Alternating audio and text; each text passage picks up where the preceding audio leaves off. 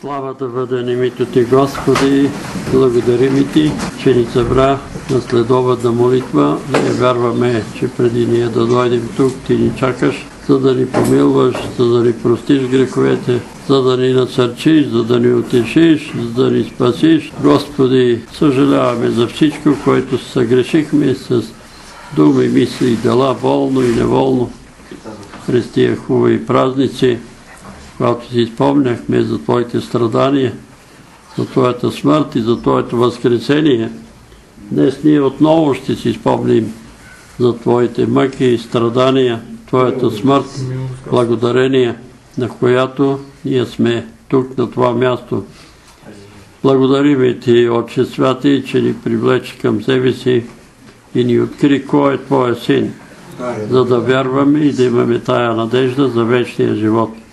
Молиме Те да ни помилваш, да ни благословиш и да погледнеш на всеки един от присъстващите през кръвта на Твоя единороден и възлюблен Син, нашият Господ и Спасител, и да ни помилваш и да ни благословиш.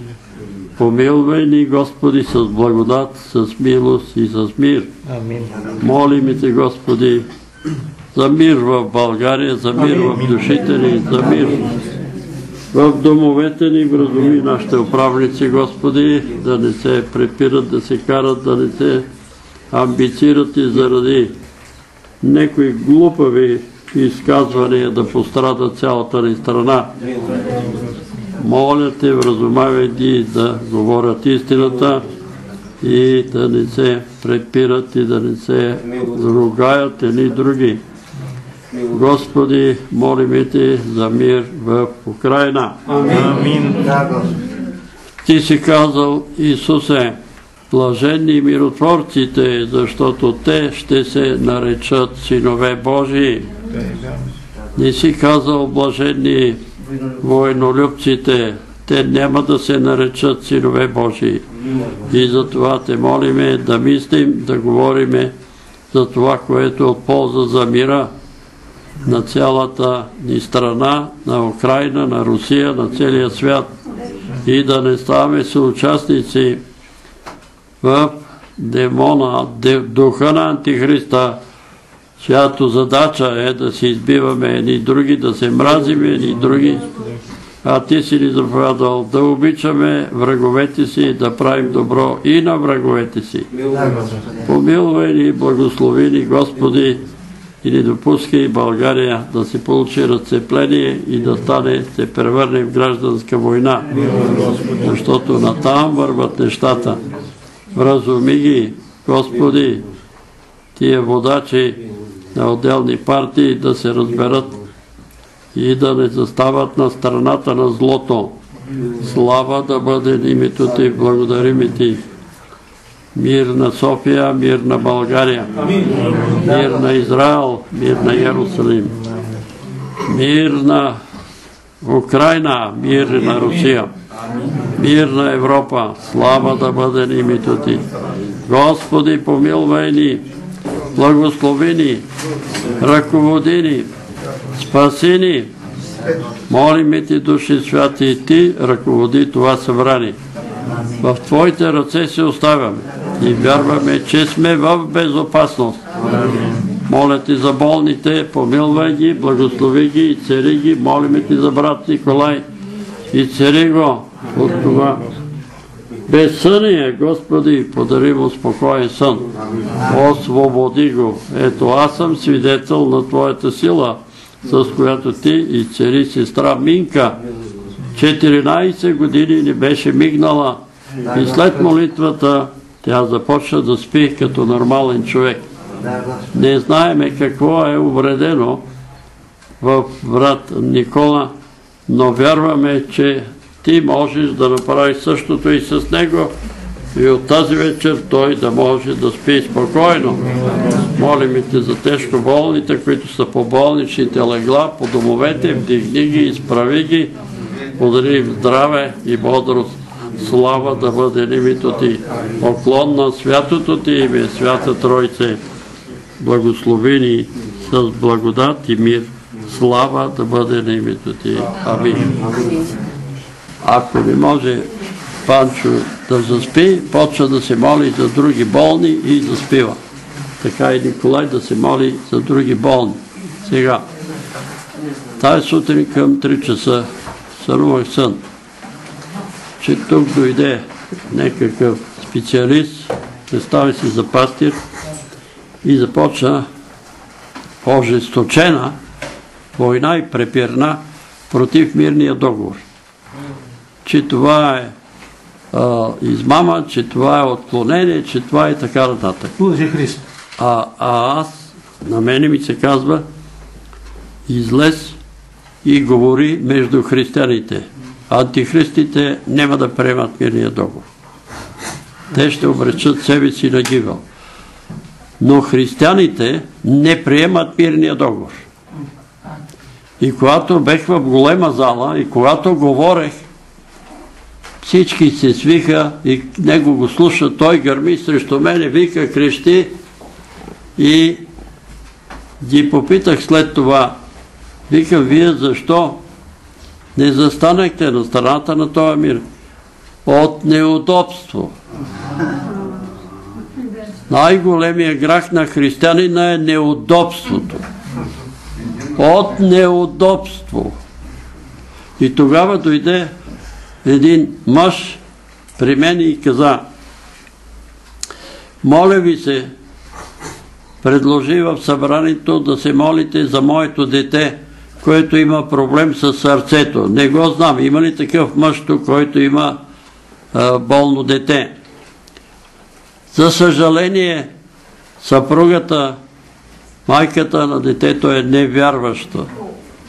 Майката е невярваща. И аз му казах, не се притеснявай на основание на твоята вяра, ние ще се молим за твоя син.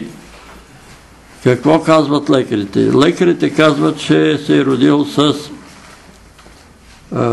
аномалия, нямало някакъв отвор в сърцето. Ма сега жив ли е? Жив е. Е, не може да няма отвор в сърцето. Как ще живее? Така че може да се появи такъв човек и ако се появи такъв човек, моля ви усърдно да се молите като за ваше дете. Но очакваме, не знаеме кога ще стане, това може да стане утре, други ден, да се появят хора, които да настърхнат против мирния договор. Защото ние вече раздаваме по 100 бройки, по 200 бройки, по други църкви и ще се появят врагове на мирния договор. Но какво казах аз в Сена, застанах и казах това голямо събрание. 76-та година, през лятото, Господ ми говори на сън и каза, ще очиста земята от това извратено и нечестиво поколение. Който иска да оцелее, да сключи мирен договор. Дава се шанс на човеците. Който го приеме от сърце, от сърце, а не формално, чух тая дума, а не формално, ще бъде изцарен от всяка болест и от рака. Който го приеме формално, няма да бъде изцарен хиляди християни да се молят за него. Няма да бъде изцарен. И ние сме свидетели, нали, Немам нищо против покойния Вирчев. Хиляди, хиляди се молихме за него аз съм се молил. Всички ние се молихме, но той отвърли мирния договор. Ето, видахте резултата. Нема да стане. Господ ще потвърди всяка своя дума. Това е което имам да ви кажа. Внимавайте да не се опълчите против този мирен договор, защото не знам. Какво иска Господ от нас? Какво иска? Какво казва Исус? Блажени миротворците, защото те ще се наречат синове Божи. Миротворците, не войнолюбците. И пак ви повтарям и ви моля, не ми пращайте разни, тук станало така, там он е казал това, он е казал, вече разбрахме, че по този интернет се пускат какви ли не лъжи, какви ли не измами, какви ли не клевети, едни срещу други и ние да може да се объркаме и да взимаме страна. Нема да взимаме никаква страна. Господ ще съди народите. Ще стане това, което Господ е определил. Не това, което аз казвам, а което казва Бог. ако Господ каже нещо, аз да го кажа пред вас, ще го кажа. Ако някой има сън, видение, откровение, да го казва, без да се плаши от нищо. Защото той, който ти е казал, говори, той ще те защити и ще опази. Подкрепете ме в молитва да спре миризмата в апартамента ми и да не ми създават проблеми от мен, където живея. Ще се, се молиме, брат, брате, ще се молим и за всички останали. Има такива хора, Господ го допуска и нас, да гърмат отдолу, да гърмат отгоре, да пускат музика. Какво да правим? Трябва да се учим на търпение. И затова аз сега благодаря на Бога, че ни дочува малко. Защото ако чувах нормално, трябваше да слеза долу, да почна да се караме, да се... Но не може 11 часа луп, луп, луп, луп, луп, луп, луп. Какво да ги прави? Въпрос на възпитание и на интелект. Много интелигентен човек. Много интелигентен. Обаче не иска да спазва правилата. След 10 часа се пази тишина. Добре, кажи брат Христо, има някакво откровение. Когато колко пъти каза мир, толкова пъти идва благодат. Обаче като за мир на Европа, чувам, няма мир за нечестивите. Ема не е цяла Европа нечестиви. Аз вярвам, че в Европа има и почтени честни хора. Това казвам. Да. На... Докато прокарва този закон за разврата, Нечестивите на едно място. Моля? Не са събрани нечестивите на едно място. Нечестивите не са събрани на едно място.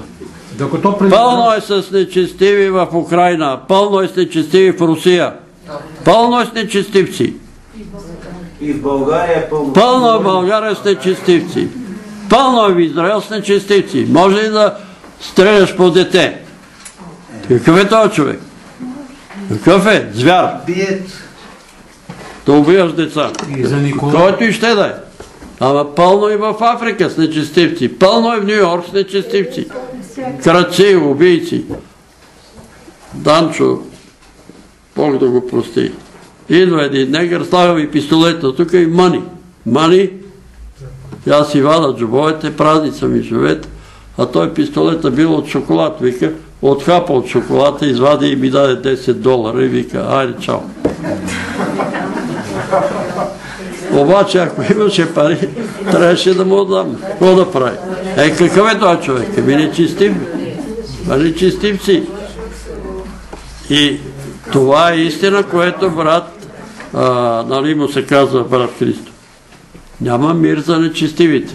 Няма ни в България, ни в Русия, ни в Украина, ни в Америка. Няма да има мир за нечистиви.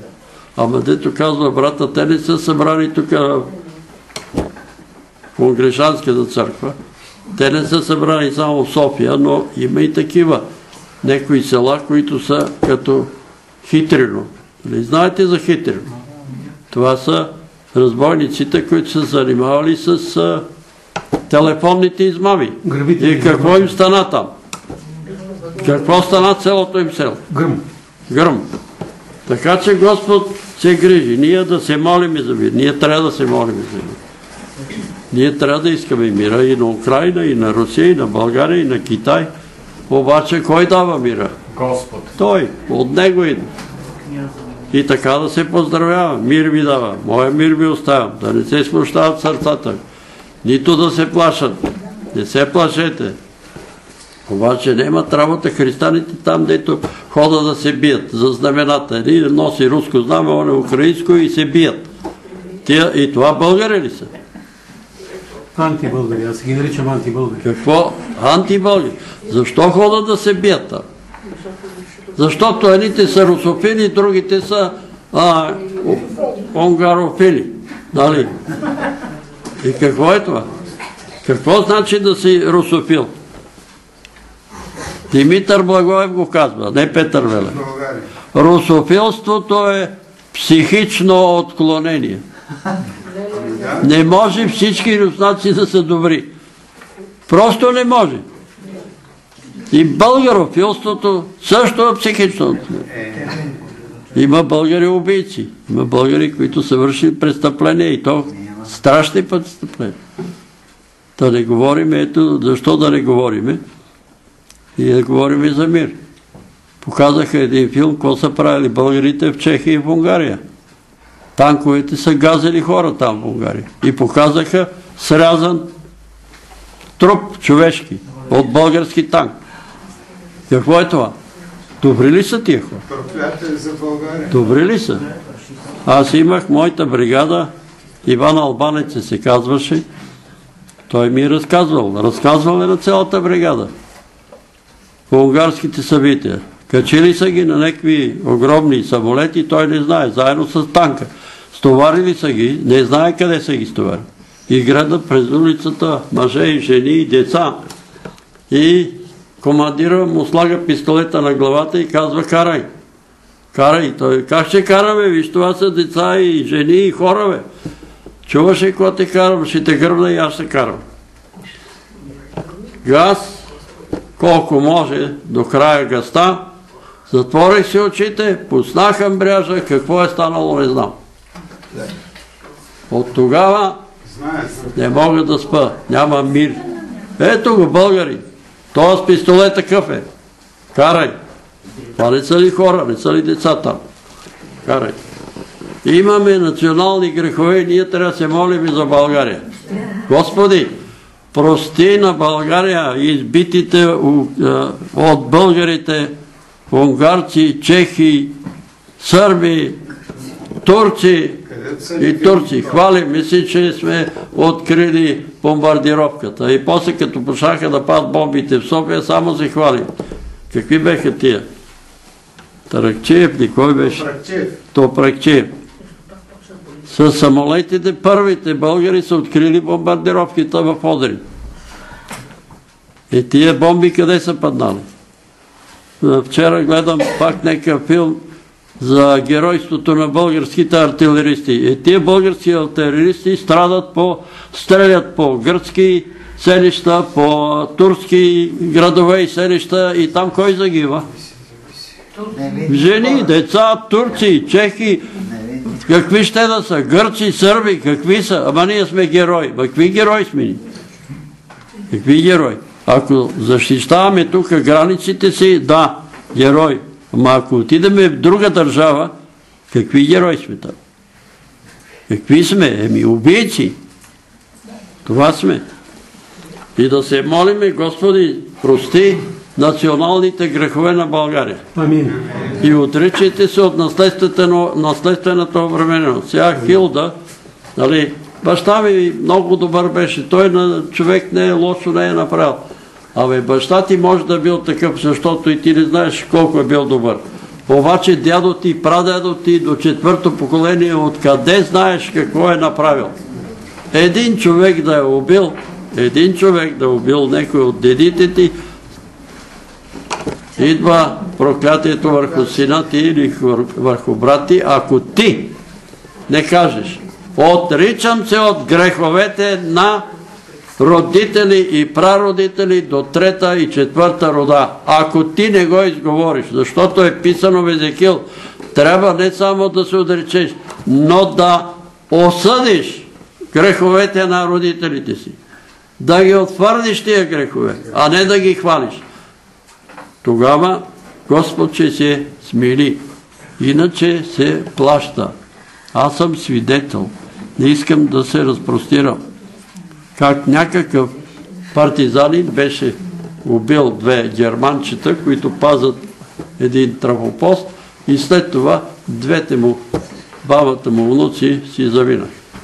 Разбирате ли какво става? Плащат. Какво трябваше да направи този човек? Ама той си замина. А какво трябва да направят внуците? Почитам, обичам дедите си, но се отричам от греховете. Отричам се от кръвнината. Цар Давид се моли, Господи, опази ме от кръвнина. Ако неговия баща или дедо е сей, некой е пролял кръв, тая кръв вика за отмъщение. Тая кръв вика за отмъщение. И така Бог да ни повилва, но ви съветвам, всеки един от вас да си вземе по един мирен договор и да почне едно по едно, едно по едно, тук Господи, отричам се от това, от това, имаме, тук ме има. Не подценявайте нещата. Не ги подценявайте, защото идва време за отмъщение. Идва време да се плаща. Защото така е писано в Библията. Никак не се очиства пролятата кръв, освен от кръвта на оня, който е пролял. Тоест, от кръвта на сина му, внука му, правнука му и така нататък. Той ще изчисти тая кръв. Ако не приеме Исусовата кръв да очисти кръвта, която той е пролял. И затова, моля ви, не дейте го подценяват. Имам го виния дума. Прочете ли го? Чета го. Чета го. Добре. Има ли нещо? И друго? още за Николай, с а, който не може да спи. Да, не може да спи. А, ем виждам Библията, ем чувам Библията. И си спомням вече, аз това го чувам и виждам, че си спомням, че ти даваш един пример, че като ти се спи, фащаш псалмите и четеш докато заспиш. Докато да спиш. Опитай също, опитай. А за Дали е псалми, дали е Евангелие, почне да четеш докато се приспи. и за сънищата, брат Пето, това вече си е от мен, споделям, като се събуда сутрин, нали, когато се събуда, казвам Господи, това, което съм сънувал, както във връзка с тия сънища, така въобще разруши със всички всички плани, а, намерения и мисли на лукавия във връзка с тези сънища. Ако се молим, няма да имаш проблеми с това. Господ ще тушира. Така си мисля. Не знам. Така моята лиля казва, че сънища, които са от Бога, обърни те. Те ще обърнат внимание, те ще са ясни, те се помнят. Които не са от Бога, ако са пратени, т.е. първите са за вразумяване. Ако са за вразумяване, обърни внимание. А ако са капани на лукавия, да си върват с нощта. Амин. Като им кажеш да си върват с нощта и Господ ще те освободи да ги мислиш и да не се занимаваш. За Гергин виждам един самолет с 4 турбовитлови двигатели, които се движат, обаче не са на пълни обороти. Самолета стои. Много Дали- хора. Дали няма ли да литне, не знам. Много хора се молят за Гергит, но не е с пълна а, Не, не, не са на Сила. а, така да отбиеме, може би не да отбиеме, ама молиме се, наистина искаме, ама малко да напрегнем по-сериозно за неговото състояние. Господ да го освободи от този демон. Аз съм уверен, че това е демон. Тая миризма. Кажи, Искам да първо бях и здравка, много поздрави към цялата църква, живи и здрави. И тя помоли, а, тя е по-добре, слава на Бога. по-добре, нали не е така както преди, когато идваше, тя беше по-изправена, сега се е прегърбила, превила се, но не чувства тези болки. Вика, по-добре съм, но бих искала да се молите за мен, да, да нямам тия болки.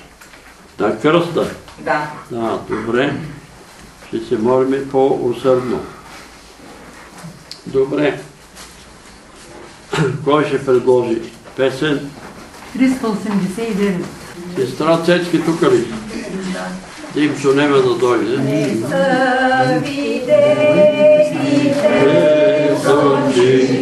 Исусе,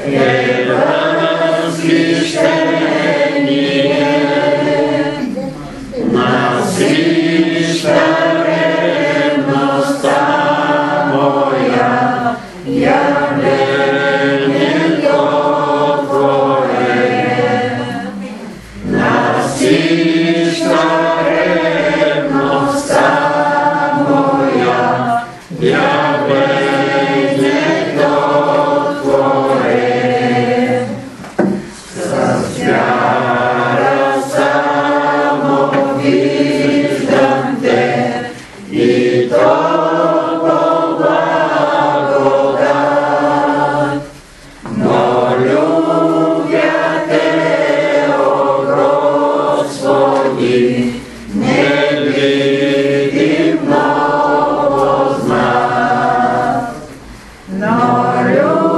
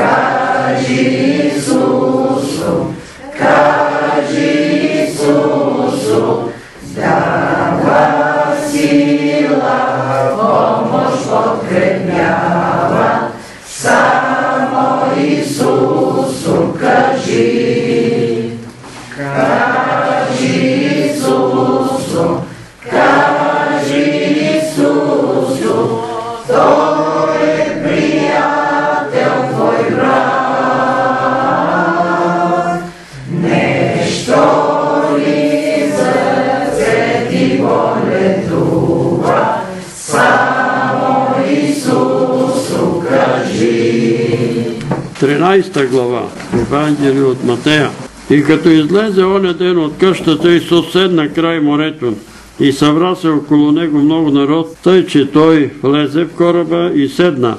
И целият народ стоеше на брега. И говори много с притчи, като казваше, ето излезе сеяш да сее. И когато сееше, едни зърна паднаха край пътя и долетяха птици и ги изхълваха. Други паднаха на каменисто място, дето нямаше много пръст и скоро поникнаха, понеже пръста не беше дълбока. А когато изгре слънце, дойдоха, бидоха попарани и понеже нямаха корени, съхнаха. Други паднаха в трънни и израснаха трънни и ги заглушиха. Други паднаха на добра земя и, поч... и почнаха да дават плод. Едно 100, друго 60 и друго 30. Който има уши да слуша, нека слуша. И като се приближиха до него учениците, рекоха му, защо с притчи им говориш? А той отговори и рече, защото вам е дадено да узнаете тайната на Царството Небесно, а тя не е дадена. Защото който има, нему ще се даде и ще му се прибави. Преумножи а който няма и това, що има, ще му се отнеме. Затова им говоря с притчи, понеже те гледат, а не виждат, и слушат, а не чуват, нито разбират. И над тях се избърна пророчеството на Исаия, което казва, с уши ще чуете и няма да разберете, с очи ще гледате и няма да видите. Защото сърцето на тия човеци е закоравяло и с уши тежко слушат, и затворили са очите си, за да не би някога с очи да видят и с уши да чуят и сърце да разберат, та да се обърнат и да ги изцелят. Вашите пък очи са блажени, задето виждат и ушите им, задето чуват. Защото истина ви казвам, мнозина пророци и праведници са много желали да видят каквото вие виждате, И не видяха и да чуят каквото вие чувате и не чуха. Вие проче чуйте какво значи притчата за сеяча. При всеки, който слуша Словото на Царството и не разбира, дохожда лукави, грабва посеяното в сърцето му. Ето, кого означава посеяното край пътя. А посеяното на камъни са онези, които слушат Словото и веднага с радост го приемат. Ала няма в себе си корен и е непостоянен. Кога настане скърп или гонение, заради Словото, то час се съблазнява. А посеяното в търни е онзи, който слуша Словото, но грижите за този век и примамливото богатство заглушават Словото и то бива безплодно. Посеяното пък на добра земя е онзи, който слуша Словото и го разбира, и който принася плод. Един дава плод 100, друг 60, а друг 30. За тази притча само ще разгледам. Словото се сее, проповядва се. Едни слушат, но не забелязват. Или слушат, но не чуват. Или слушат с ушите си, а мислите и са некъде много далече. Гледах едно предаване на, руски, на руска телевизия за един свещеник се моли и казал толкова молитви, толкова грижи, Господи, резултат е почти нула. Защо е това? И Господ му дава сън. Мисля, че беха. Така мисля, че съм го гледал на филм. Всички жени са забрат, да, забрадени с кърпи. Чете се Евангелието православната църква и всички са на колене. Но идва един ангел и казва на свещеника, сега виж, виж сега тая жена, когато ти четеш Евангелието, за какво си мисли. И тая жена си мисли. Леле, аз забравих да пусна кокошките, ще седат до обед бързани в другата. Ами, и аз забравих да нахрана працето. Другата си мисли пак, ами комшиката не знам кой е казала. И едно момченце се моли, или момиченце беше, на около 13 години казва, Господи, моля ти се, моя татко е пияница, бие майка ми, турмози ни, моля ти се, освободи го от този алкохол. И той казва, и аз вземах само тая молитва и я занесох пред престола на Бога. Не мога да носа молитвите на хората, които мислят за прасетата и за кокошките. Ето, това слово не дава плод. Защо? защото тия хора са отишли на църквата и си мислят, абе тая жена ми каза, па оная ми каза, тая па защо не ме поздрави? Какво ми се е надула, аз се поздравям, тя не ме поздравя. Абе стоиш на колене пред Евангелието. Свети Йоанн Круштацки казва, не бързайте да изговаряте много думи пред Бога. Не бързайте. Застанете и помълчете малко. Научете се да мълчите пред Бога.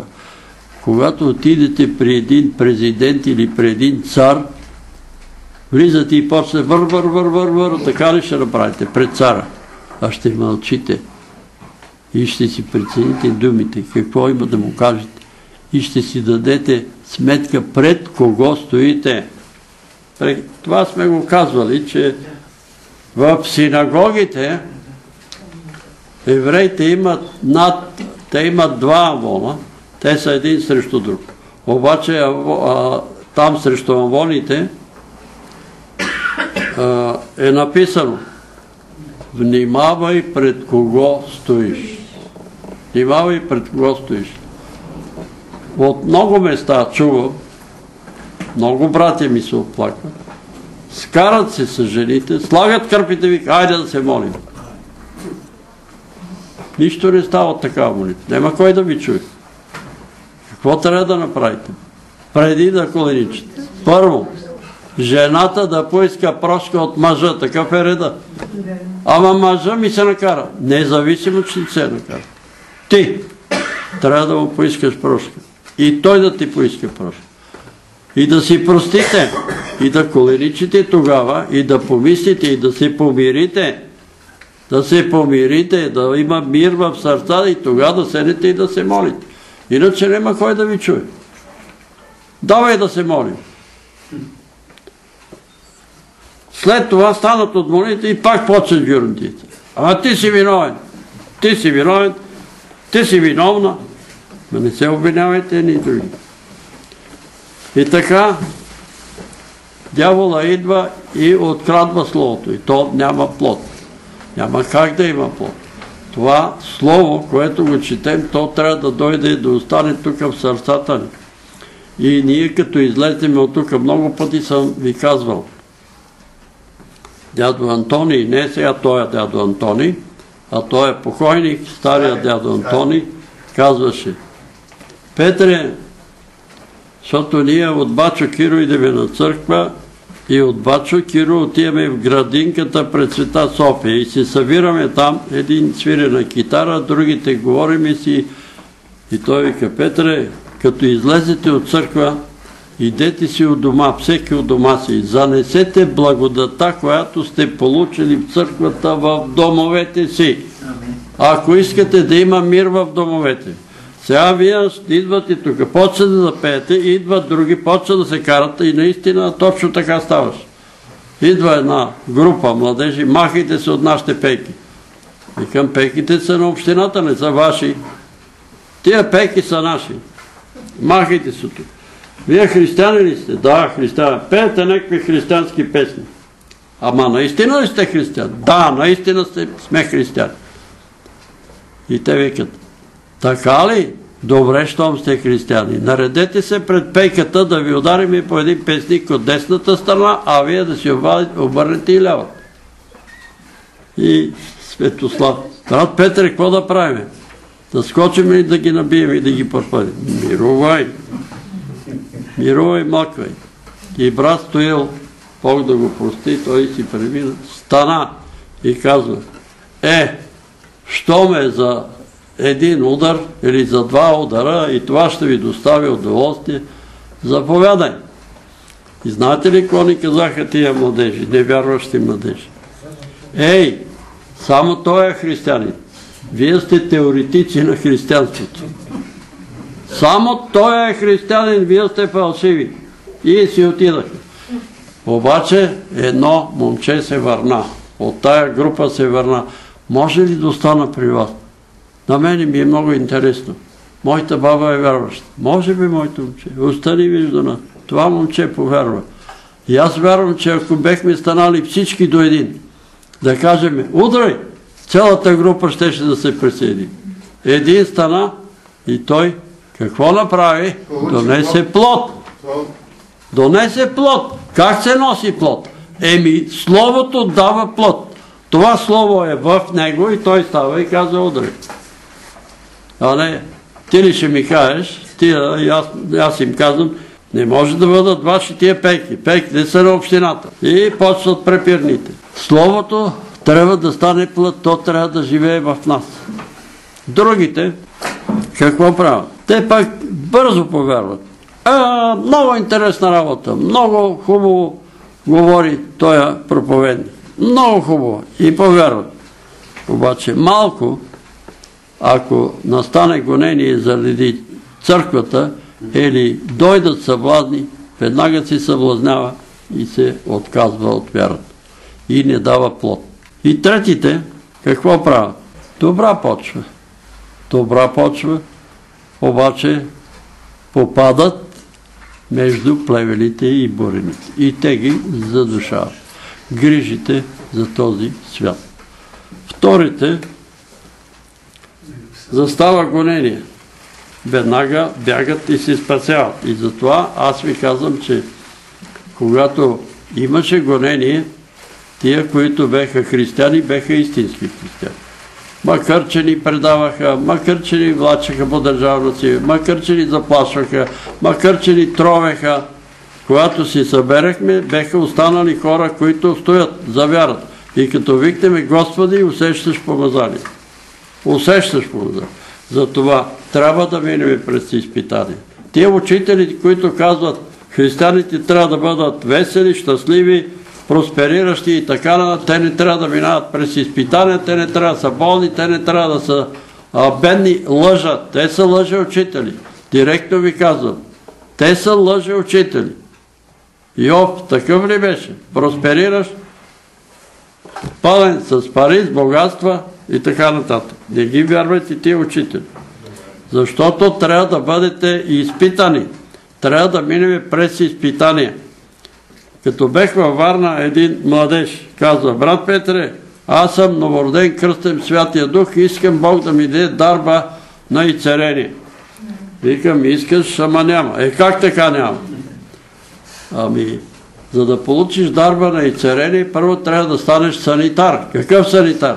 Еми да помагаш на болните. Каква дарба? Ти искаш да се прославаш, да застанеш и да кажеш ставай, нали, болния да става. Да, некой да го превържиш, некой да му помогнеш, да го повдигнеш, да помогнеш. Господ иска неговите служители да бъдат медицински работници. Медицински работници санитари. Не санитари да чистат, нали, да, изфърлят, да ги свалят навънка, а санитарни войски, ранени хора, ранени от битките в боя с врага. Много ранени. Около нас е пълно с ранени. И кой отива при тия ранените? Кой отива? Тук ли е Любомила? Да. Или идва ли ти някой на гости на тебе? Некоя сестра, брат, идват ли ти на гости? Не. Не. Ето тя е ранена. Никой не го интересува. Иска дарбени и царени. Ето тия хора трябва да се издират и тия хора да отидеш, да ги посетиш, да им купиш нещо, да им помогнеш, да ги превържиш. Да не говоря и за други. Нали? Не се интересува. Искаме дарбана и царени. Не зависи от нас. И аз го попитах, той е младеж. А искаш ли да станеш летец и изтървител? А, разбира се. Е, ще ти дадат ли самолет?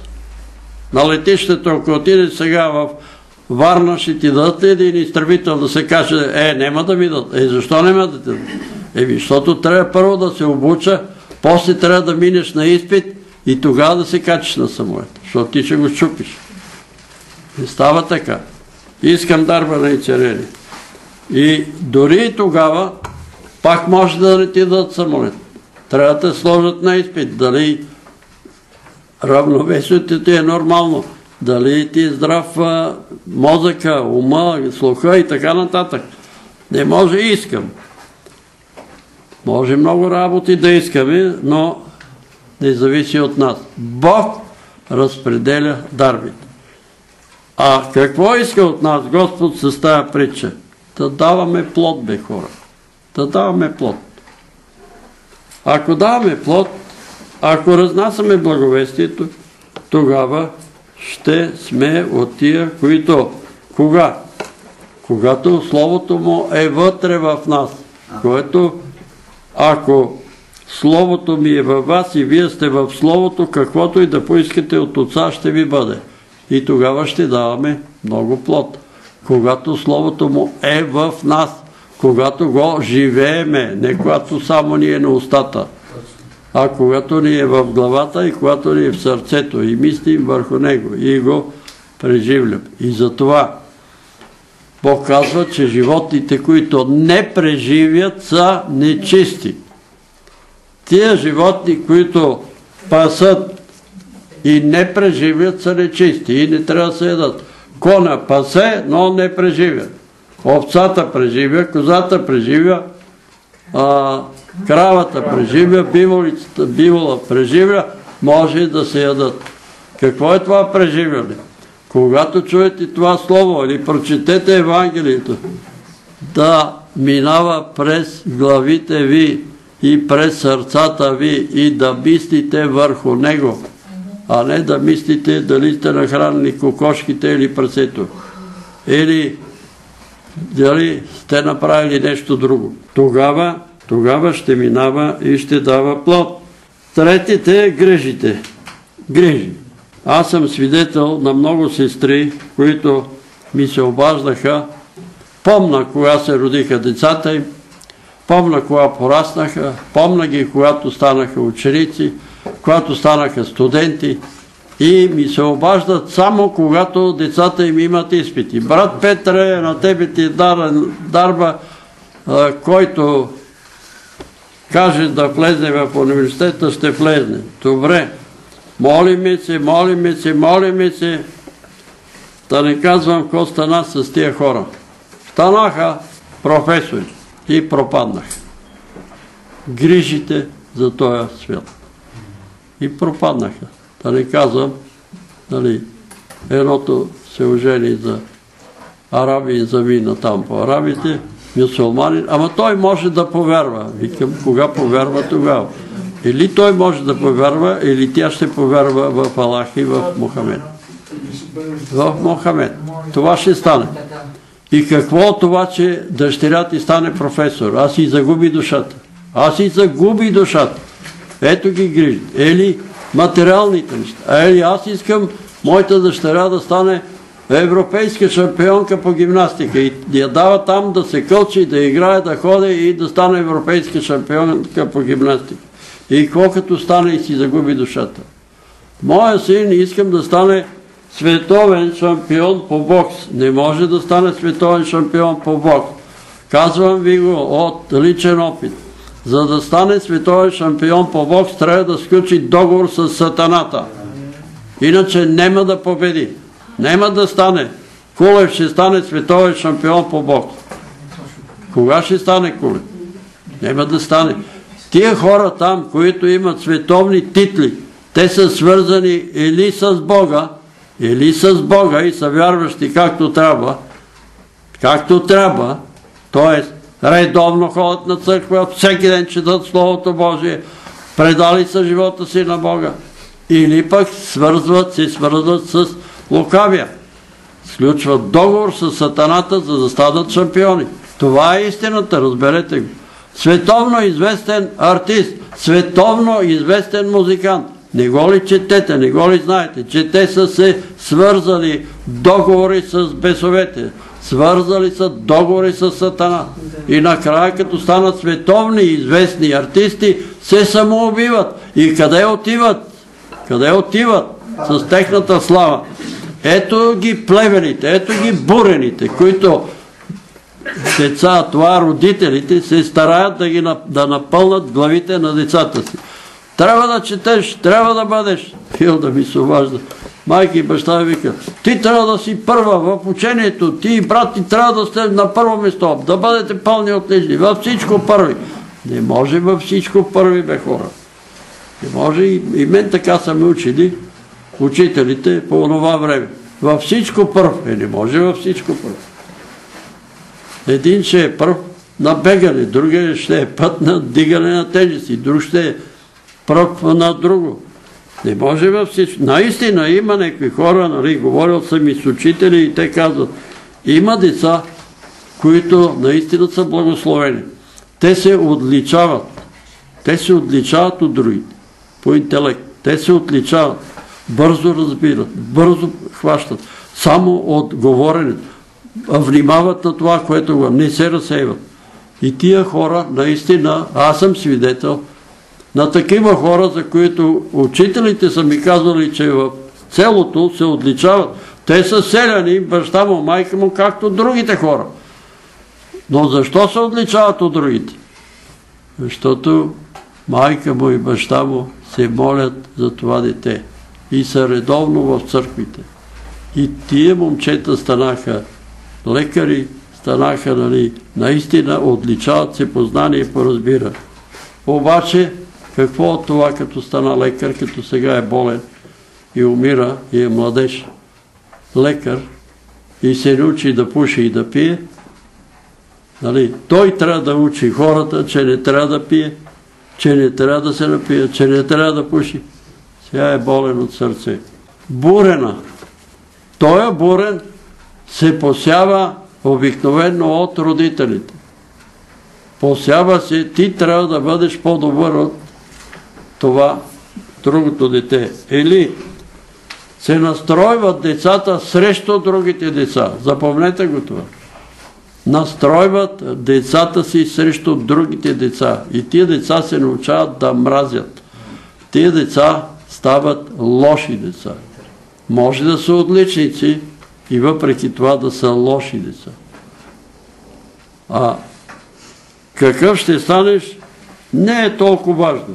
Не е толкова. Този живот минава 50 години, когато баба ми беше на 92 години и казвам, бабо, какво е живота? Живота е като една клечка хибрид. Запалиш я, погори, погори и угасне. Като че ли вчера бех дете. Е така. Аз съм, карам 88 година. Като ли вчера тичах там по реката и се биех децата и се карах. Кога минаха тия 87 години? Кога се изтъркаляха? Не ги видях. И какъв ще станеш? И какво като станеш? Какво като станеш некакъв известен? Аз си загубиш душата. Аз си загубиш душата. И по-добре е да си един обикновен работник, да си един обикновен, нали, какъвто и да си чиновник или да работиш някоя по-такава, по не толкова велика дейност и работа, но да запазиш душичката си. Защото за да станеш велик, трябва да правиш компромиси. Не може да станеш велик и да не, да не правиш компромиси. Не може да станеш министър-председател и да не се съгласиш на компромиси. Не може. Не може да станеш президент без да правиш компромиси. Не може. Не можеш да станеш генерал без да правиш компромис. И затова Господ ми показа на времето, преди 50 години, един сън за тая тесна пътечка, по която върват от време на време по един човек.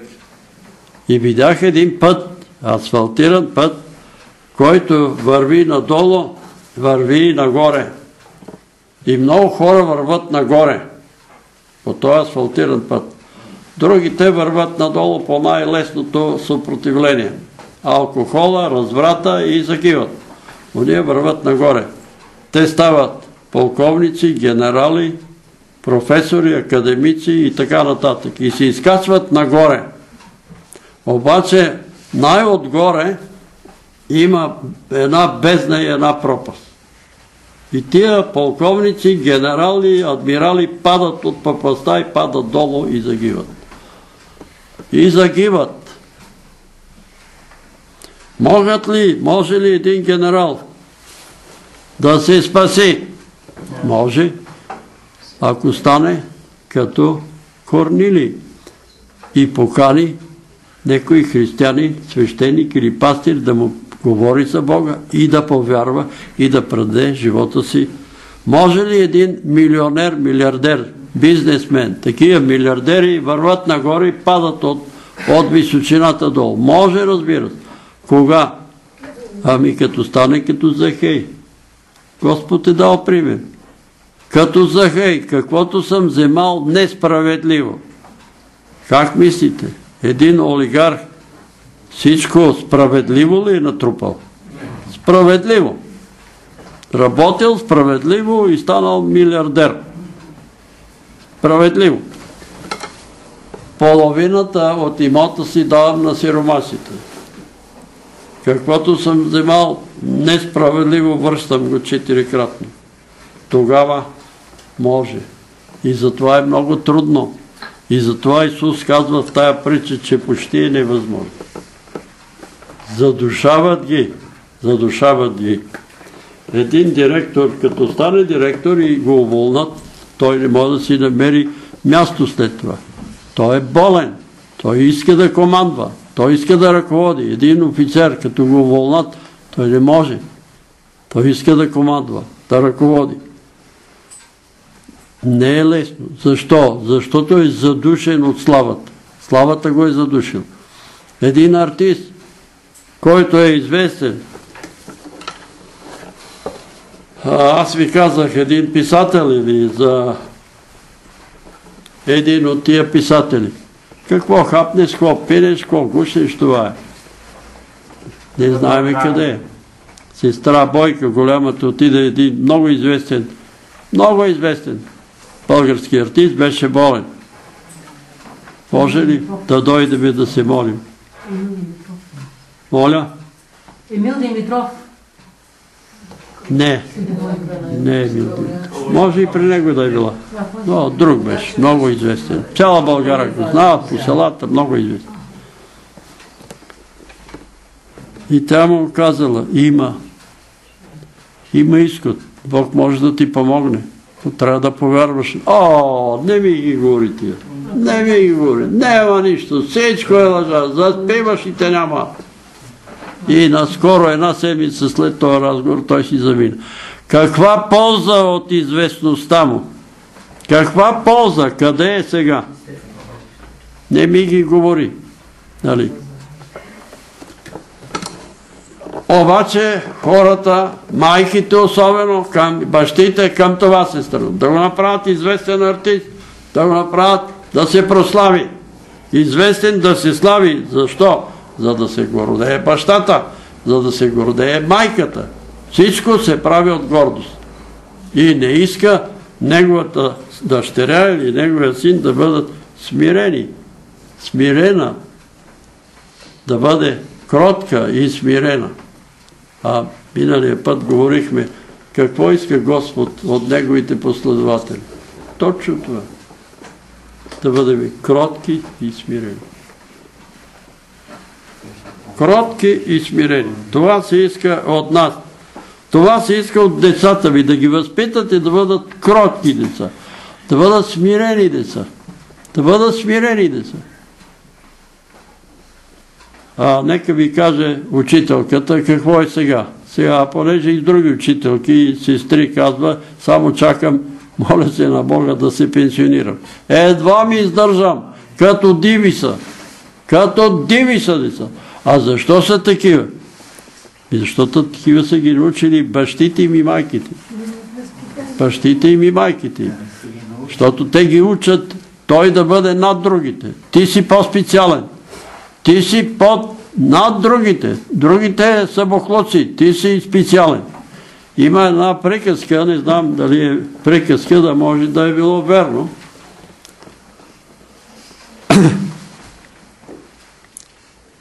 Една майка учила сина си, подавала къл. Ти си по-специален. Другите деца са буклуци. Ти си по-специален. Ти си по-специален. И той не син си въобразил, че е по-специален. И той започнал да се бие с другите деца. Започнал и станал такъв водач на банда, разбойническа банда. Обаче извършил големи престъпления. Тая банда извършила големи престъпления. Чел съм го некъде. И тогава го съдят. Но на времето са ги осъждали на смърт. Може би сте го слушали или в друг вариант. И когато да го обесят, го попитали, имаш ли последно желание? И той казал, имам да доведете майка ми при мене. Искам да целуна майка ми. И когато тя отишла при него, той казал, покажи си езика, искам да ти целуна езика. Захапал и отхапал езика. И казал, тоя твой език, майчице, ме докара на бесилото. Чуйте ме, майчици, как учите и възпитавате децата. Ти си по-специален. Другите са буклуци. Ти си по-специален. Ти знаеш и кой е баща ти. Ти знаеш и баща ти е генерал, баща ти е професор, баща ти е академик, баща ти е, баща ти е. Знаете ли какво ми е казал моя баща? Когато бех ученик и той казва, сине, аз съм ви казвал си, дойде в един часа през нощта. Прибира се и вика, ставай да си говорим. То ми се спи Абе, тате бе, какво ще говорим сега нощеска в един часа? бе? Ставай. Ставам, седне и той вика. Дали казвал съм ми, някой път ми каже, сине, ще те попитат кой е баща ти. Заклевам те. Никога да не се хвалиш с баща ти, че е такъв никакъв. Чуваш ли какво ти говоря? Когато те питат кой е, ще казваш, моя баща се казва Усо циганин. Чакай бе, тате, ти не си нито циганин, нито усове. Аз съм ковач по професия. Аз съм, моята специалност е ковач. Аз съм ковал в казармата, съм правил каруци и съм подковавал конете. И тая работа я вършат ромите, циганите. Няма да се хвалиш с баща ти. Чуваш ли какво ти говоря? Баща ти е такъв, баща ти и ние. За какво ме е учил той? Защо ми го е казал? Сине, смирявай се. Оставай другите да върват пред теб. Не се надбегвай по пътищата. Качва се на кола. Оставай ги да те надминават, бе, не се бой, бе. Сега, да има го Динчо, той не може. Той казва, аз не мога да се отърва. Това е демон. Не мога да го пусна той да ме изпревари по пътя и аз после да не го настигна и да не го изпревари.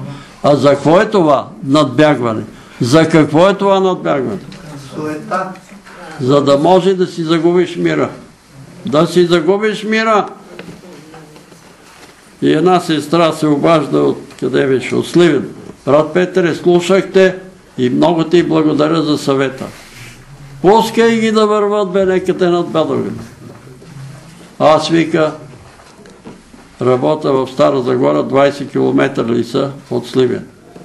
И като тръгна сутрин на работа, отивам ядосан. Един ме изпревара от лево, другия от дясно, той ми свири от там и аз се нервирам. И откакто те слушах, почнах да ги пускам. Да си карам по-агале, по-спокойно. Тръгни 10 минути по-рано, аз съм правил сметка, нали, от тук до Камарци бързам, но, но изпреварвам да мога да стигна. И за 40 минути пътя ми е от младост до долу Камарци. Когато пускам всички да ме изпреварват и си карам спокойно, и където е 60-60, където е 40-40, стигам за един час. 10 минути е разлика. И заслужава си за 10 минути да се нервираш, да се караш с тия шофьори, не си заслужава. И вика, слушахте, послушахте и сега си пътувам спокойно. Пускам ги да ме задминават, пускам, не се нервирам. Пускай ги да бързат тия, дето бързат. Е, те пак не, нема да не годуват. Ще ти свират отзад, ще не годуват, но смирявай се. Смирявай се. Това говорете на децата си. Блаженни сте вие, майки и бащи, които имате смирени деца. Блаженни сте. Горкови, ако имате велики деца. Горкови, ако вашите деца са велики. Запомнете какво ви говоря. Защо? Защото Бог не дава величието си никому. Никому не дава величието си. Никому не дава величието си. Аз ви говоря за тия неща, които вече сме говорили, за това, когато един син или дъщеря посяга на баща си или на майка си, но има и друго нещо, когато посегне на кръстника си. Аз съм слушал, Димитър Борисов се казваше този човек, който е посегнал на кръстника си и е набил кръстника си. И той му казал, момче, аз съм ти отричал от сатана. А ти сега сам се отрече от Исус и отиде при сатана. Няма, та, няма такова нещо. Отива на фронта Димитър Борисов, пада до него снаряд и го обезобразява. И го ослепява и го обезобразява. И той седеше на на вратата на църквата в Долно Камарци и разказваше цялата си история. Разказваше историята си за това, че е посегнал на кръстника. Бог не се шегува, когато говори. Бог не се шегува. беше се оженил за една ромка, тя го водеше, той беше сляп и той си разказваше историята. А аз ви я разказвам на вас. Ето го горделивия, докъде ще стигне. Ето докъде ще стигне горделивия. Сядам на една маса в Козлодо, идват двама младежи, може и да седна при вас, да, може да поведайте, и единия казва, ако партията ми нареди, аз ще разстрелям баща ми и майка ми, без да ми мигне окото. Говоря го в Божия храм. Това съм го чул от този младеж. И каза младеж, кой те научи на такава вярност към партията? Баща ми. Баща ми е учител, ние сме от Черпан и баща ми ми е казал, сине, ако партията ти нареди да застреляш баща си и майка си, стреляй без да ти мигне окото. Е, какъв е този син? А какъв е този баща? Какъв е този баща? Какво ще стане с този син? Той може да не застреля баща си, но ще застреля някой друг. И какво ще се случи с него? Какво ще се случи? Брат Димитър Количев казваше, че неговата дъщеря, която е била на две години, е знаела първия псалом на Исус. Когато е била на две години. А вашите синове, когато са на 10 години на 20 години, знаят ли първият псалом на Исус? Знаят ли? Ако искат да бъдат добре. Но всеки родител иска неговия си, неговата да бъде, да бъде нещо голямо. И аз ви казвам, свидетел съм на дъщери, на професори, на синове на професори, закъсаха, пропаднаха, пропаднаха, защото ги бутаха само да четат, само и те да станат професори. И първо се разведоха, след това се изразболяха, пропаднаха милите, жал ми е за тех. И аз съм се молил, молил, молил за тех, молил съм се да върват нагоре, да върват. И след това пропадат. Затова все пак имаме изход. Имаме изход. Внимавайте къде ще се насадите. Къде ще се насадите. Дали ще се насадите на добра почва или ще се насадите при плевелите и при бурените. Ако се насадите при плевелите, ще бъдете заглушени. Ще бъдете заглушени. Иван Зарев разказва за един случай, аз съм ви го казвал. 50-та църква е имало едно хубаво момче, прекрасен младеж, духовен младеж, вярващ младеж, новороден, кръстен със Святия Дух. Появява се една хубавица в църквата, завърта се около него, той я харесва, защото той е хубавица, разбира се. Лъже его, че е вярваща, но когато се оженват, когато ги венчават, тя му казва, никога не съм била вярваща. Аз като те видях, си реших ще го плена това момче, пък какво ще да става? Сега, ако ти искаш да имаме авторитет в обществото и при хората, ти трябва да идваш на нашите избирки, където ние си събираме, да си хапаме, да си пиваме, да си пееме нали, други песни. Лека по лека започнал да я отклонява от църква и каза, остави ги тия бабички там в църквата, остави я тази молитвена група, почвай да идваш при нас. И той започва да идва при тех. И лека по лека се отклонява и напуска църквата. Но се разболява много тежко. Тогава отиват при него от църквата да се молят за него и го питат искаш ли да се молим за Твоето и царение? Той казва, да, искам, но едва ли Господ ще ме чуе, защото аз отстъпих от църквата, отстъпих от вярата. Но Господ чу молитвата и той беше и царен. Той се върна се в църквата. започна да се идва на църква. Дори и жена му от време на време.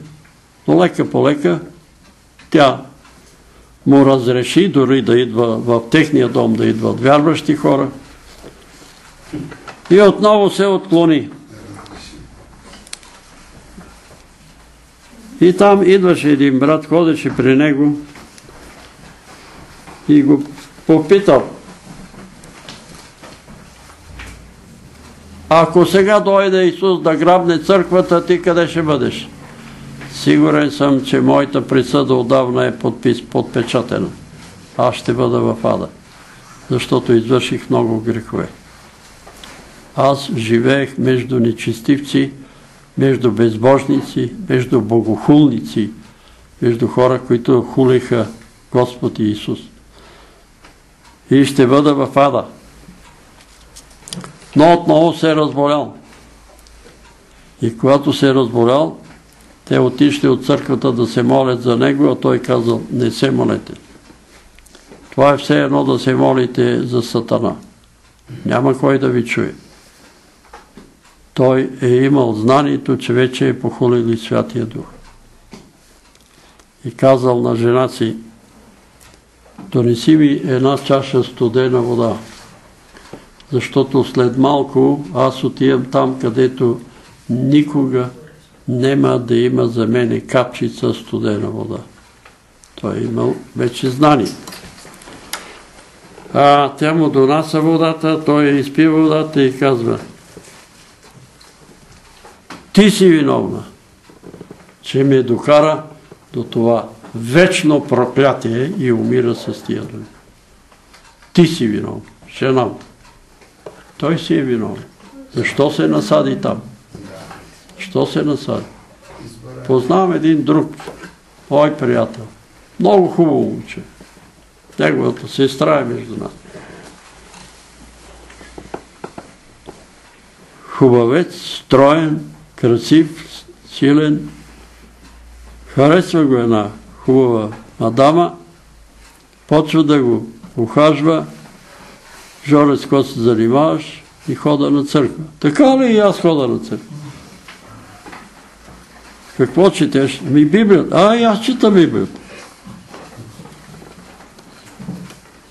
Но, след като се ожениха, тя му казва, никога не съм вярвала в никакъв Бог. Аз те излагам. За съжаление, той е мой приятел, е бил много наранен и е изговорил едно проклятие.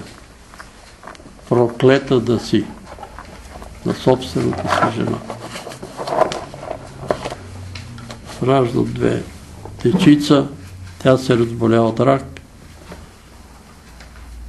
уж започна да се кае по мирния договор, подобри се. И аз имах видение за нея, че от езика излиза е толкова голем, от устата излига толкова голем език и когато се молехме, този език хоп, прибра се. А тя е хулела, тя е говорила против нас, тя е говорила против църквата. Минаха няколко месеца, тя се подобри, ние се зарадвахме и изведнъж отново се влуши. И аз пак се моля за не, виждам отново езика е излезнал и си стои така. И почина от рак. Той остана вдовец. Затова, моля ви се, вие, които имате синове и дъщери, огледайте се къде садите синовете си, къде садите дъщерите ви. Къде се садите? Не сте ли чували хората викат добре се насади той? Тая добре се насади, той добре се насади. Насади се и като напаче яйца ви. Внимавайте, това са примери, които ви ги казвам и ще ги прочетете, може би, ако излезе наскоро тая книга. Отклонението, защото вярвам, че много християни ще, се очудат съдния ден, че не са там, за където трябва да бъдат. Защото има много лъжи учители, които ни лъжат и нимават и казват не се притеснявайте. Притеснявайте си, брати и сестри. Притеснявайте се, ако грешите. Притеснявайте се, ако се отклонявате. Притеснявайте, ако не може да простите. Притеснявайте се, ако не може да прощавате. Защото няма да ви се прости. Да не ви лъжат тия модерни пастири.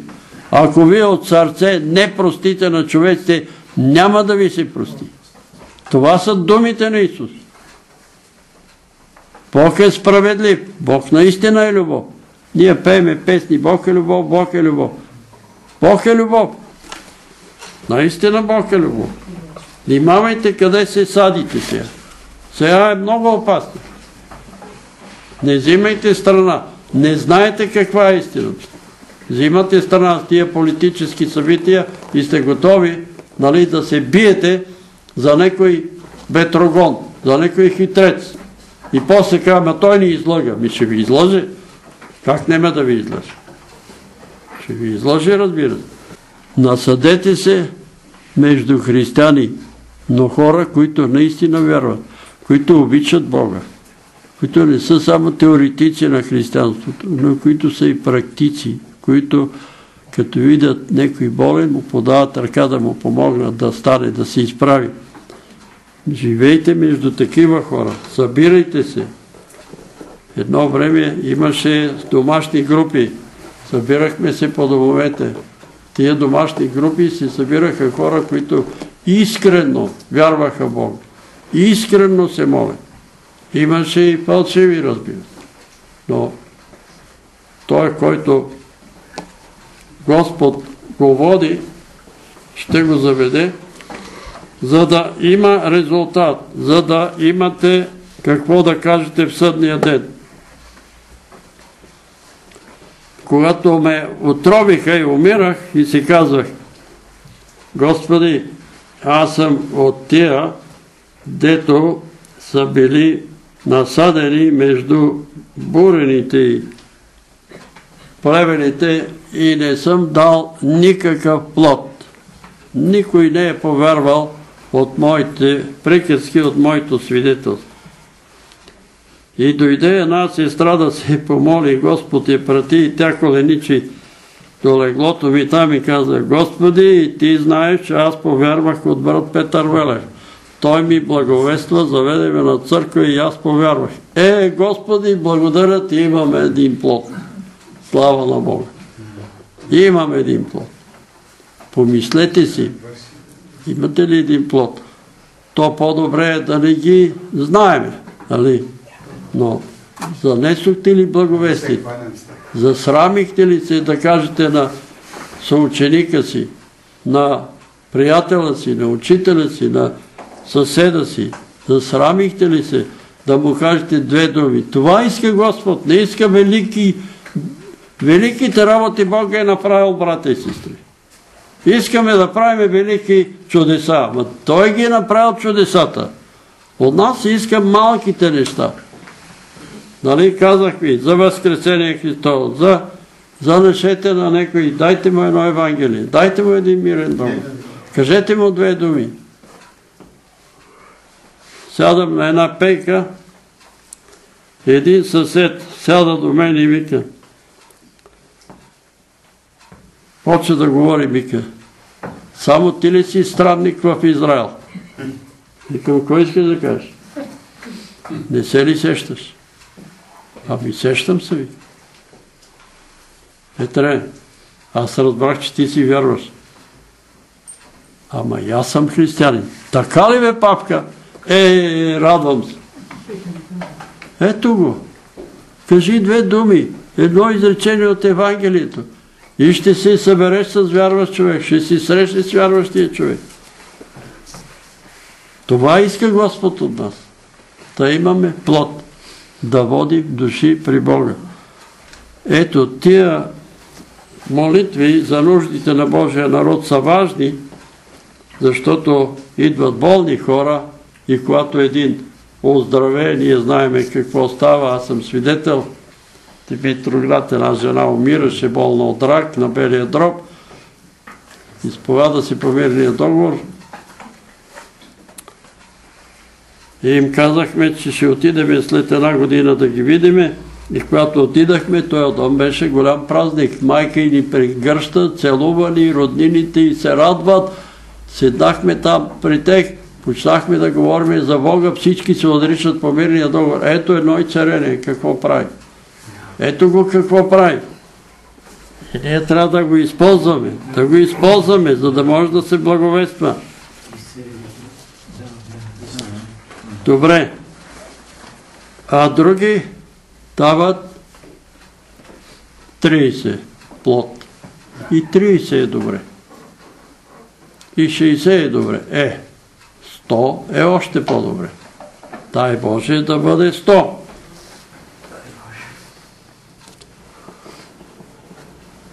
Когато повярвах и известно време си мислех за това, че съм безплоден християнин, че само хода на църква, пея там, нали, участвам в хора, бех в хора на Бачо Киро, Бранко беше а, хорист и аз пеех в хора, в хвалението, нали, аз съм бил в хвалението. Така че и ги отричам тия, които са в хвалението. Но любимата ми песен, знаете ли коя? Не в красиви речи и молби. Не в красиви речи и молби си казва Господи, а само от мене красиви речи и молби и песни, нито в песни е животът ми. И какво става с мене? И аз не давам никакъв плод. Хода на църква е никакъв плод. А то си има време. Трябва малко да порасне житото. Не може. Молех се на село, казвам, Господи, съживление. Какво съживление? Църквите са празни. Какво е това съживление? Църквите са празни. И сънувах сън. Полето е поникнало житото, но е толкова. Житото е толкова. И Господ ме пита в съня. Е, много рано искаш да женеш. Чакай. Нека да порасне. Нека да озрее. И тогава, тогава ще има резултат. И си спомних тогава за един, едни монаси. Пратил ги игумена, на времето е било така. Едно осле, игумена, праща монасите да обикалят селата и да благовестват. И те обикалят и благовестват. Говорят на хората да се покаят, говорят, говорят, връщат се в манастира и той ги пита, повярва ли некой? Некой. Слушат, вика, едни се подиграват, други се препират, вика и никой не иска да повярва. Тогава той от, отмерил по една леха и казал, изкопайте тук по една леха. Изкопали те лехата. Дали им жито и казал, насейте това жито. Насеяли житото. Готово. Дали им по един сърп. Айде, почете да женете. Е, чакайте, как ще женеме? Ние сега го посеяхме. Ами така е, моите момчета. Вие вчера посеяхте житото. То ще покълне, ще поникне и друг може да го ожене. И друг може да го ожене. Затова, ако ви минават такива мисли, никой не е повярвал от моето благовестие. Ти благовества ли на некой? Благовествах, ама друг може да ги пожени. Ти ще влезеш в неговия труд. И ти ще влезеш в неговия труд. Това е важното, брати си. Другото, милионите, милиардите, вилите, апартаментите, големите пари не са от големо значение. Ще ги оставим тук. Горе в небето не се, не се влиза с пари. Казвал съм и тия случаи, един лекар от Света Екатерина от екипа на Чирко, на професор Чирко се разболя от рак на белия дроб. Много прекрасен млад мъж, красив. интелигентен, образован, добър. Отидах там в клиниката да се молиме за него. В коридора ме посрещна баща му, полковник от армията. Ако Бог и цари сина ми, аз ще дам голяма сума пари за Божието дело. Викам, другаро полковник, Бог не е търговец. Той не се... Той иска ти да повярваш. Ти да повярваш в Неговия син и синът ти да повярва и тогава... Не, не, не, не. Ако Господ го и цари, аз ти казвам, ето тук се заклевам, че дам голяма сума за Божието дело. Няма да стане. Няма да стане, защото ти искаш да купиш изцелението. А то е безплатно, без пари и без заплата. Без пари. Нека ме чуе Хилда, защото с нощи говорихме или оная вечер с нея и тя, не, не, не, аз искам да дам за църквата. Ми, давай си пари за църквата, но разбери, че тия пари нема да изцерат брат ти. Нема да го изцерат. Разберете това, оскърбявате Бога. Бог не е търговец. А ти си дай пари. Това няма проблем. За съжаление посетих този на лекар и той каза, брат Петре, аз няма да бъда изцелен. Аз сънувах Господ, че Той ми каза, скоро ще бъдеш при мен. Това е по-важно от изцерението. Това е по-важно. Да бъде Той при Бога. Бащата обаче иска да даде пари, Бог да го изцери. Дойдоха двама младежи у дома. Брат Петре, ние сме бизнесмени. Ако Бог изцери майка ни, ние ще дадем и голяма сума за Божието дело. Дайте си голямата сума за Божието дело, но ако майка ви не се покая, няма да изцели Господ. Защо? Защото Бог не е търговец. Той не е търговец, няма да стане с пари. Запомни. И затова казвам на Хилта да ме чуе. Искам да дам пари за църквата. Ако ги даваш парите за църква, давай. Но да идей мисъл не допускай, че като дадеш пари за църква, Бог ще цари брат. Това няма да стане. Бог ще цари брати, ако ти искрено се покаеш и по мирния договор се отречете от наследствената обремененост с брат ти и кажете обичам баща ми и майка ми, обичам дедите си, бабите си до трети и четвърта рода, но се отричам от греховете им, от неправдите, от беззаконието, от пороците. От пороците им. Отричам се. Тогава Господ ще го изцери. А парите ви държте настрани. А да давате, добре е да давате, защото който щедро се, щедро и ще жане. Но не с такава умисъл. Не с мисъл да ме видят, че давам. Ели аз давам, ама Господи, аз ще ти дам кокошка, ама ти трябва да ми дадеш кон. Кон за кокошка, нали знаете? Нема да стане. Бог не е търговец. Затова дойдете, вземете, пийте, изцерявайте се, но без пари и без плата и без заплата.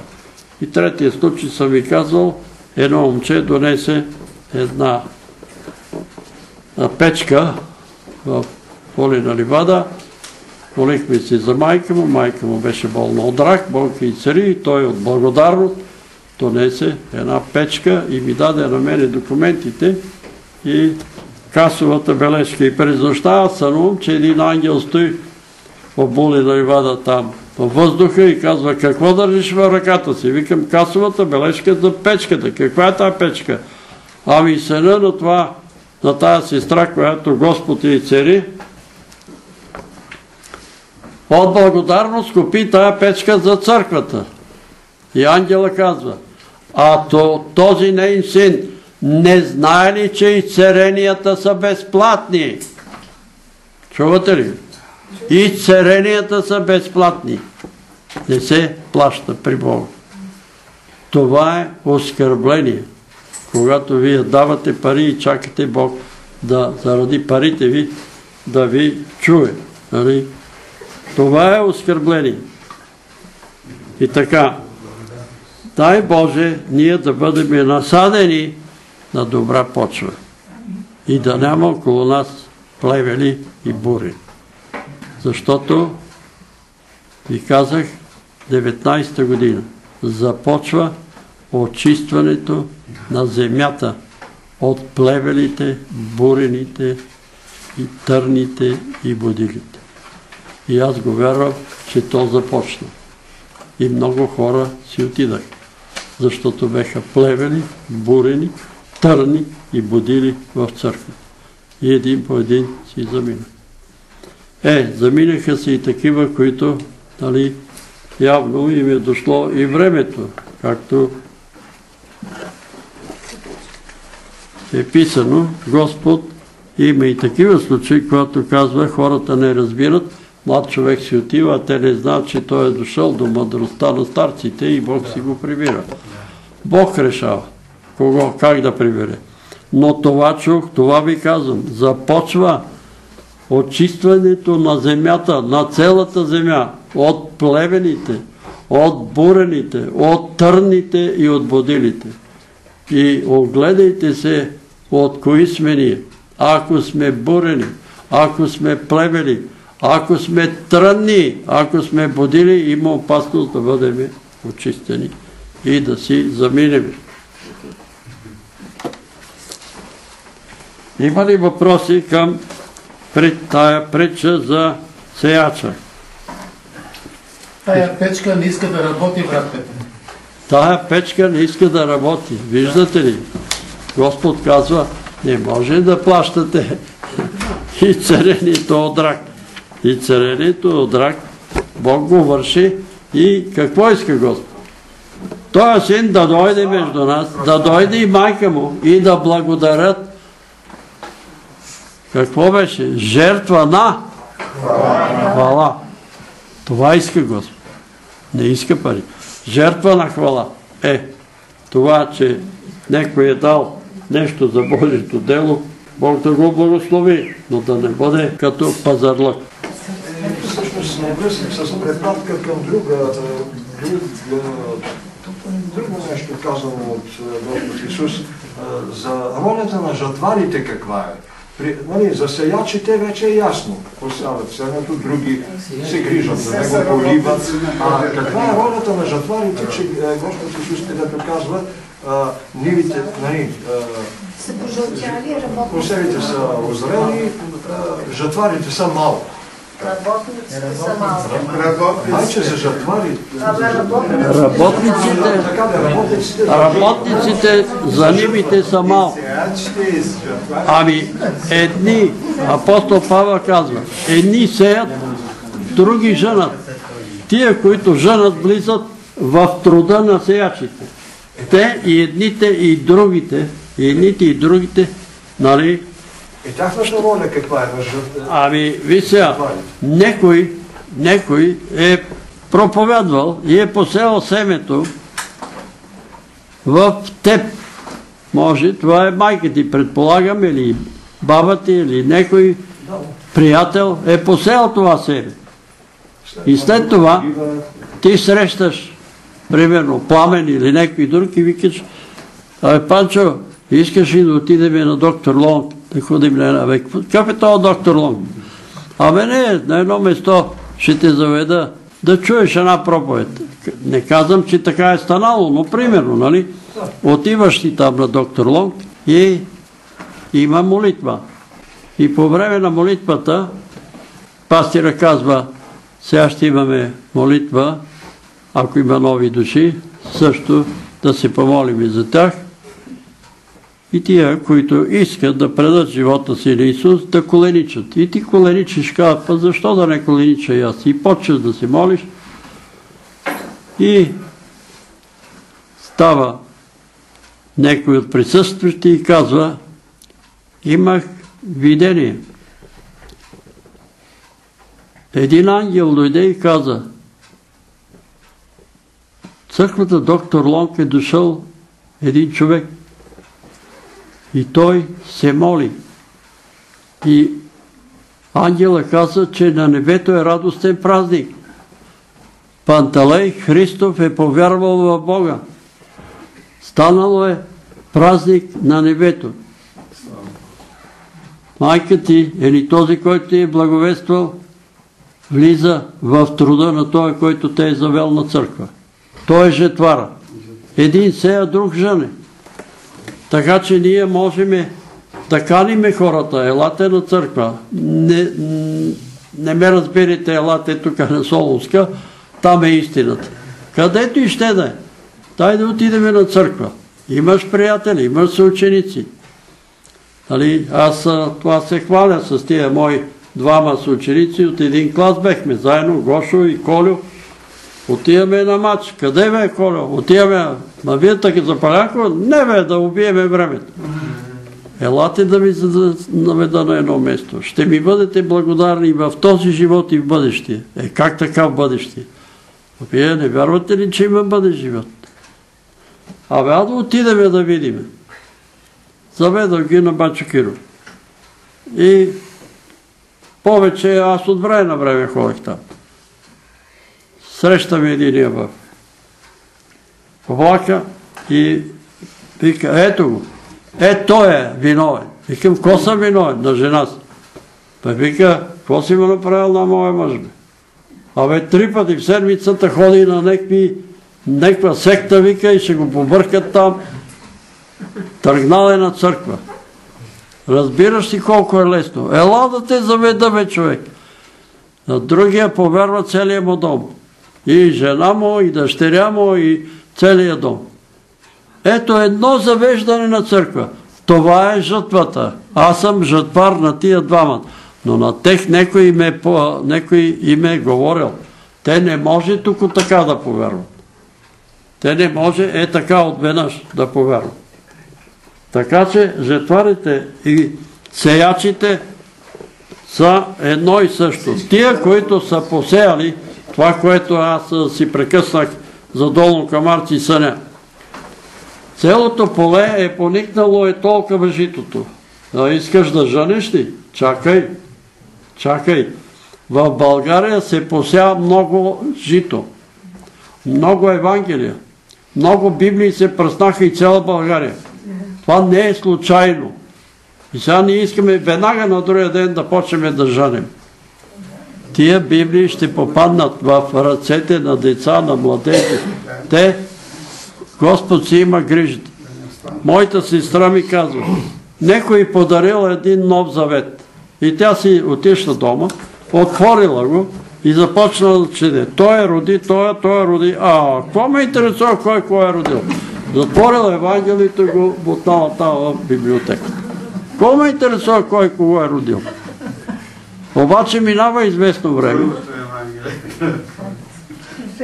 Идва трагедията с мъжа и мъжа и внезапно умира от инфаркт и той ще я кара Господ, защото тя каза, не мога да го понеса. Как така? Ако някой се е... Друго е да е, се, да е болен, да се заволи изведнъж.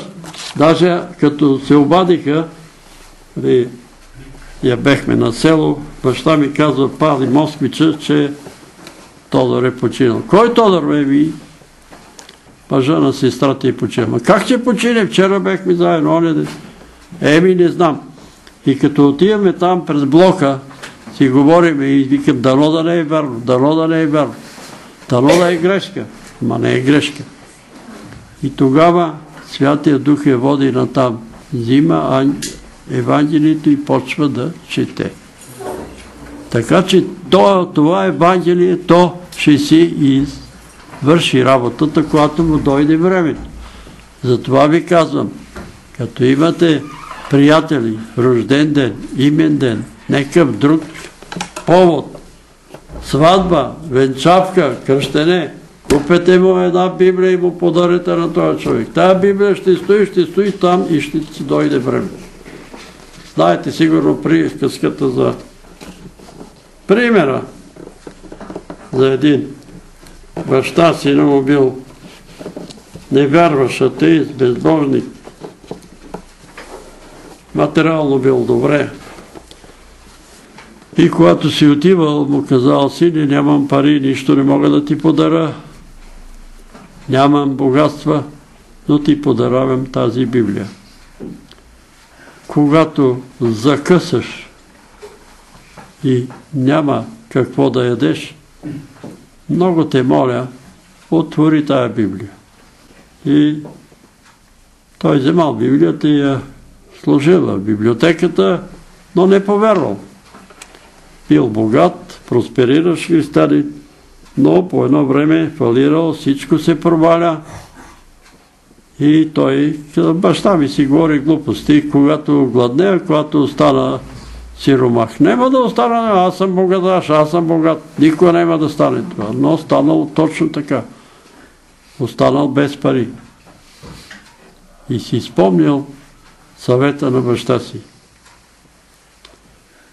Вземал Библията, разтворил я и вътре Библията имало хиляда долара.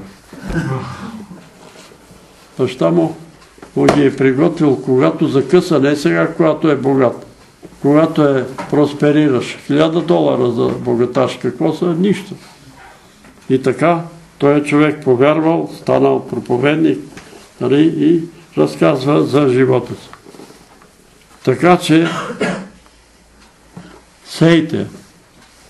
Сейте и България е посято много слово, много Библии.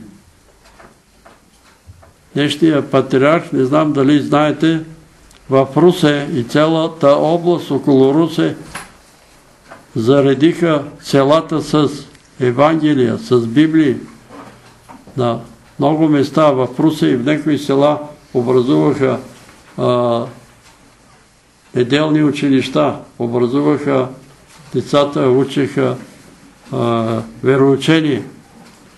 И тия дечица растат те ще пораснат. Макар, че за това време не можеше, и сега не може да има вероучение, но и сега може. Може. Свещеника може да събере децата от селото, може да ги събере от района, може да направят неделно училище, но това неделно училище да не говорят на децата, защото това чух и това предупреждавам неделните учители в неделните училища по евангелските църкви се сее опасен парисейски квас. Запомнете го, чуйте ме, учители на неделните училища. Само ние баптистите сме най-правилните и най-точните. Само ние от Божия църква сме още по-праведни, защото се кръщаваме в течаща вода. И какво като си кръщавате в течаща вода? или нещо друго. Само ние. И ако имате връжда против другите християни, това е фарисейски клас. И този клас се сее в децата. В децата. Затова внимавайте, брати и сестри. Добре, има ли нещо? А, Панчо разбрали? Той, който сее и той, който жъне, влизат в общия труд. Едни са жетвари, едни са сега. Че, че сеячът е един. Така го пише. Сеячът е един, но... Господ не използва нас. Е, добре, а защо казва молете си за работници? Какви сте работници? Не знам кои сте. Е, как да не знаеш? Не пише, че са сеяч. Как да не знаеш? Сеяча е един. И ако разчитаме само на един, какво ще стане? Той е един е Господ всичко Айде да кажем, че той е главният сияч. Айде така да кажем. Той ръководи бригадата. Ако трябва така да се изразим. Ма Словото Божие се се. Син човечески излезе да сее там, в Израел. Но сега син човечески го нема тук в България. Е, според те, брат Христо, син човечески е един и той трябва да дойде в България и да почне да сее. Не, така ли? Не. А как? Който сме, той е в нас. А? Той е в нас и ни подгуза какво говорим. А, той е в нас. А ние да не сеем. Ама той чрез нас сега, това иска да кажа. Няма да спора. Прощавай, брат. Сеяча е един. Сеячи сте вие. Господ иска, молете се за работници на нивата. На нивата има нужда от сеячи, има нужда от жетвари. И верно е, ще дойде с ангелиците и ще пожъне всичко. Това е в последния ден. Ще пожъне тия, които са вярвали. Но вие не представите да сеете и да жънете, разбира се. Водете нови души по църквата. Ще се молиме сега. Има няколко бележки. Има много болешки. Бог ги знае. Подкрепете ме в молитва за изцеление и освобождение, сестра в Господа. Ще те подкрепиме, сестро. Божия план за Израел и България. Мария, пълно изцеление. Укрепване във вярата. За покаяние. Надин, Илиян, Елена, Мартин, Илко, Лиляна, Игор, семейства Митеви, Спасови и Попови. За Анна и Александър успех в взимане на изпитите и в работата и за нов дом. Амин. Бог да ги благослови. Брати и сестри, моля, помолете се за синовете ми Огнян и Петър. Господ да се смили над тях. И за сестра Серафима. Господ да я изцери. Благодаря ви, сестра Мария. Брати и сестри, молете се Бог да помогне Симеон да бъде бавен, да се гневи и да живее в мир със себе си и с всички ближни сестра в Господа. Милост за Симеон. С молба за това да се помолите за Кирил, за психичен проблем, депресия, страх тежки мисли. Амин. Да не би нещо да се е заплел в некоя друга религия. Забравих. Намерих църковен вестник и там на първа страница пише световен конгрес за мир в Москва, на който присъстват будисти, мюсюлмани, юдаисти и още десетина видове там от изтока и накрая и християни. И християни. И на този конгрес, този конгрес за мир, решението е чудесно. Нали? И там е записано в този конгрес за мир, че всички уния, които се борят за мир, или те християни или не християни, Бог ще ги благослови. А уния, които искат война и рекламират войната, не могат точно да си каза и чакат наказание. Така че да внимаваме, аз го забравих един лист от църковен вестник. И така, че Симеон, за да има мир, какво трябва да направи? Трябва да се стреми към мира. Трябва да чете Евангелието. Трябва да вярва на княза на мира. И тогава ще има мир. Ако не вярваме на княза на мира, няма как да стане. Брата и сестри, да се молим и за Краси, наш брат от Добрич, семейни проблеми. И за Коста и семейството му проблеми в работата, покаяние и промяна. Покаяние, промяна и наистина да има промяна в живота и в поведението и тая промяна не трябва да бъде само приказки. И така ще прочета всичките тия, без да ги чета после, ще се молим и наведнъж. За сестра Кичка от Хасково депресия. За брат Павел и сестра му Теодора, знаете в какво състояние. И затова тук ви предупреждавам, когато ние говориме, говориме, но тук Стамен казва, ти си говориш, ама никой не те слуша, вика. На някаква поляна е сънувал съм и казва ми, абе бягайте от тия източни религии, спасявайте се, бе хора. Абе бягайте, защото Господ говори в Божието Слово. Ония, които се занимават с тия окултни неща, са гнусни пред лицето на Бога. И брат Павел и казва, брат Петре, един лев бе на час, 40 минути, един лев, лежиш на едни топли камъчета и ти е много добре. Абе, брат Павле, махай се оттам, бе, тия корейци ли са, какви са там, китайци ли се, бягай от тях. Не, не, не, ти вика, много си заблуждаваш. Ето сега на какво в пристъп. По един лев на час. И после съм му продал едно килимче, колко лев? Хиляда лева ли? За хиляда лева, да си лежи на килимчето. И резултат такъв. Ето го резултата. Като ви говориме за тия източни религии, бягайте. Бягайте. Те са гнусни пред лицето на Бога. А в църковен вестник пише, че Бог ще ги благослови с мир и с не знам какво. Но няма да ги благослови. Това не е верно. Индуисти, не знам какви будисти, ще ги благослови Господ с мир. Нема да стане. Бягайте. Това са лъжливи учени.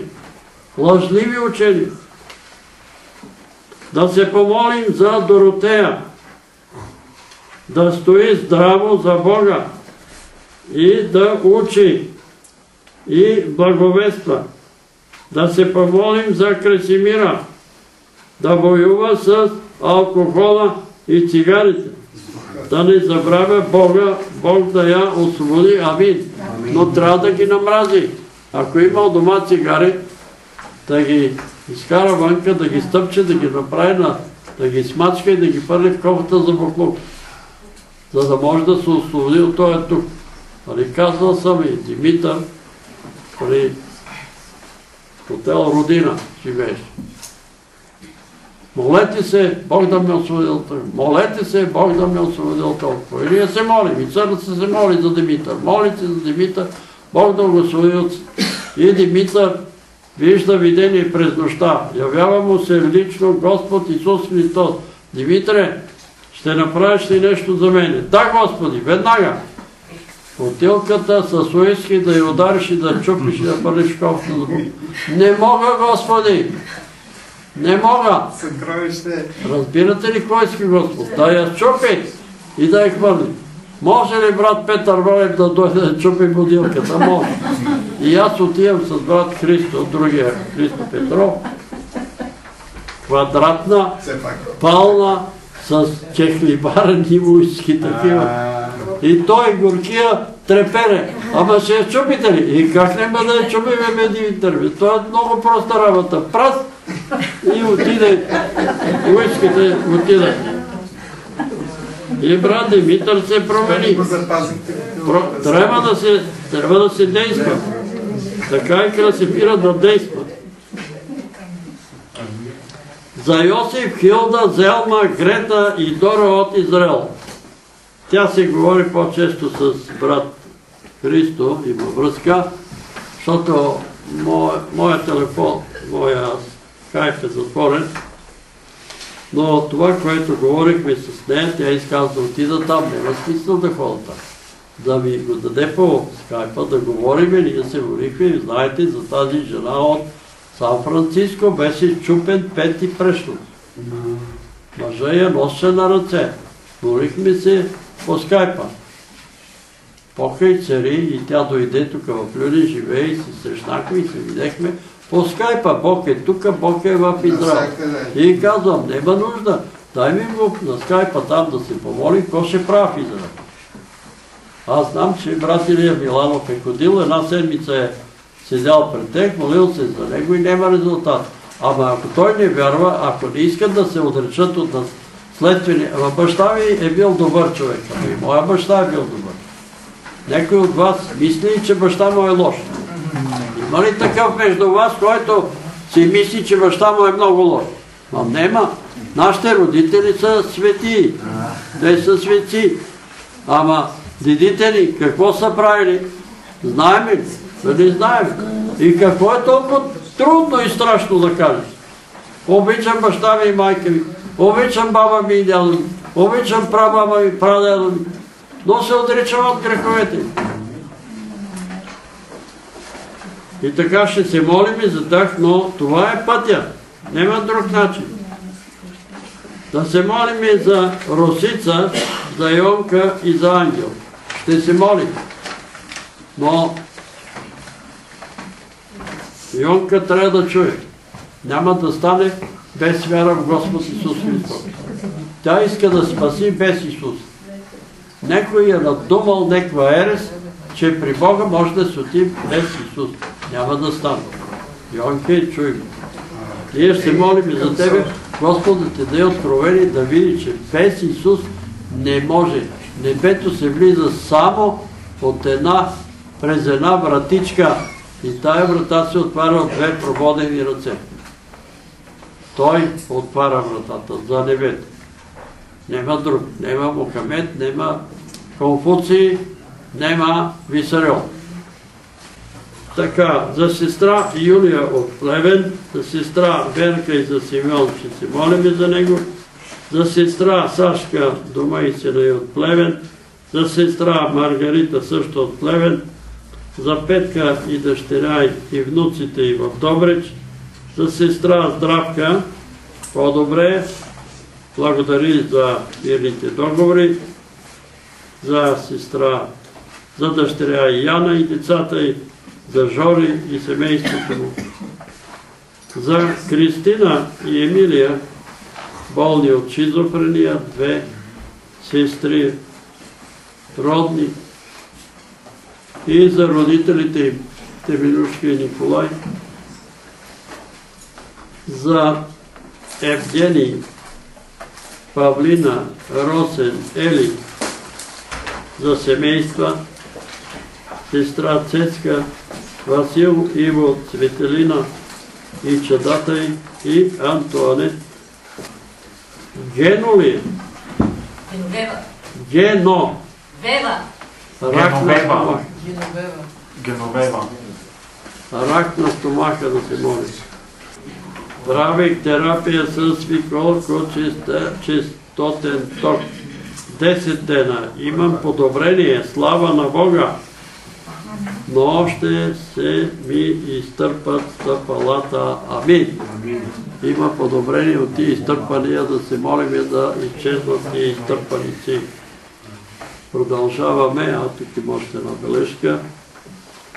Брати и сестри, да се помолиме за семейство от град Свищов, Блага, с диабет, ампутиран крак, син Георги с проблем и болки в храносмилателната система, дъщеря Таня, зарадка от Варна, операция от рак и образование. За Едислав от София след коремна операция от рак. За Мирослав в Германия. Амин.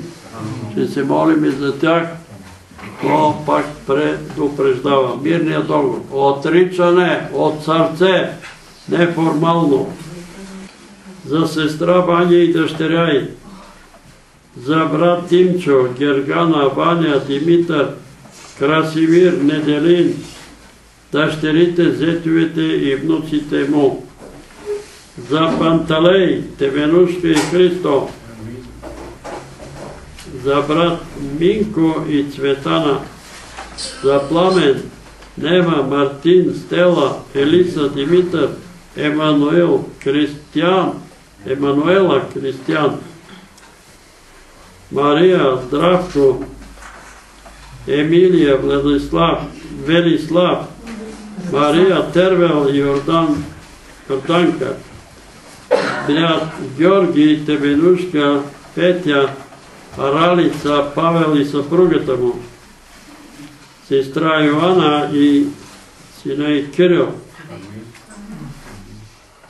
сестра Цецка и Емил, и децата и внуците им. А Ценка и Емил, извинявай, брат Яни,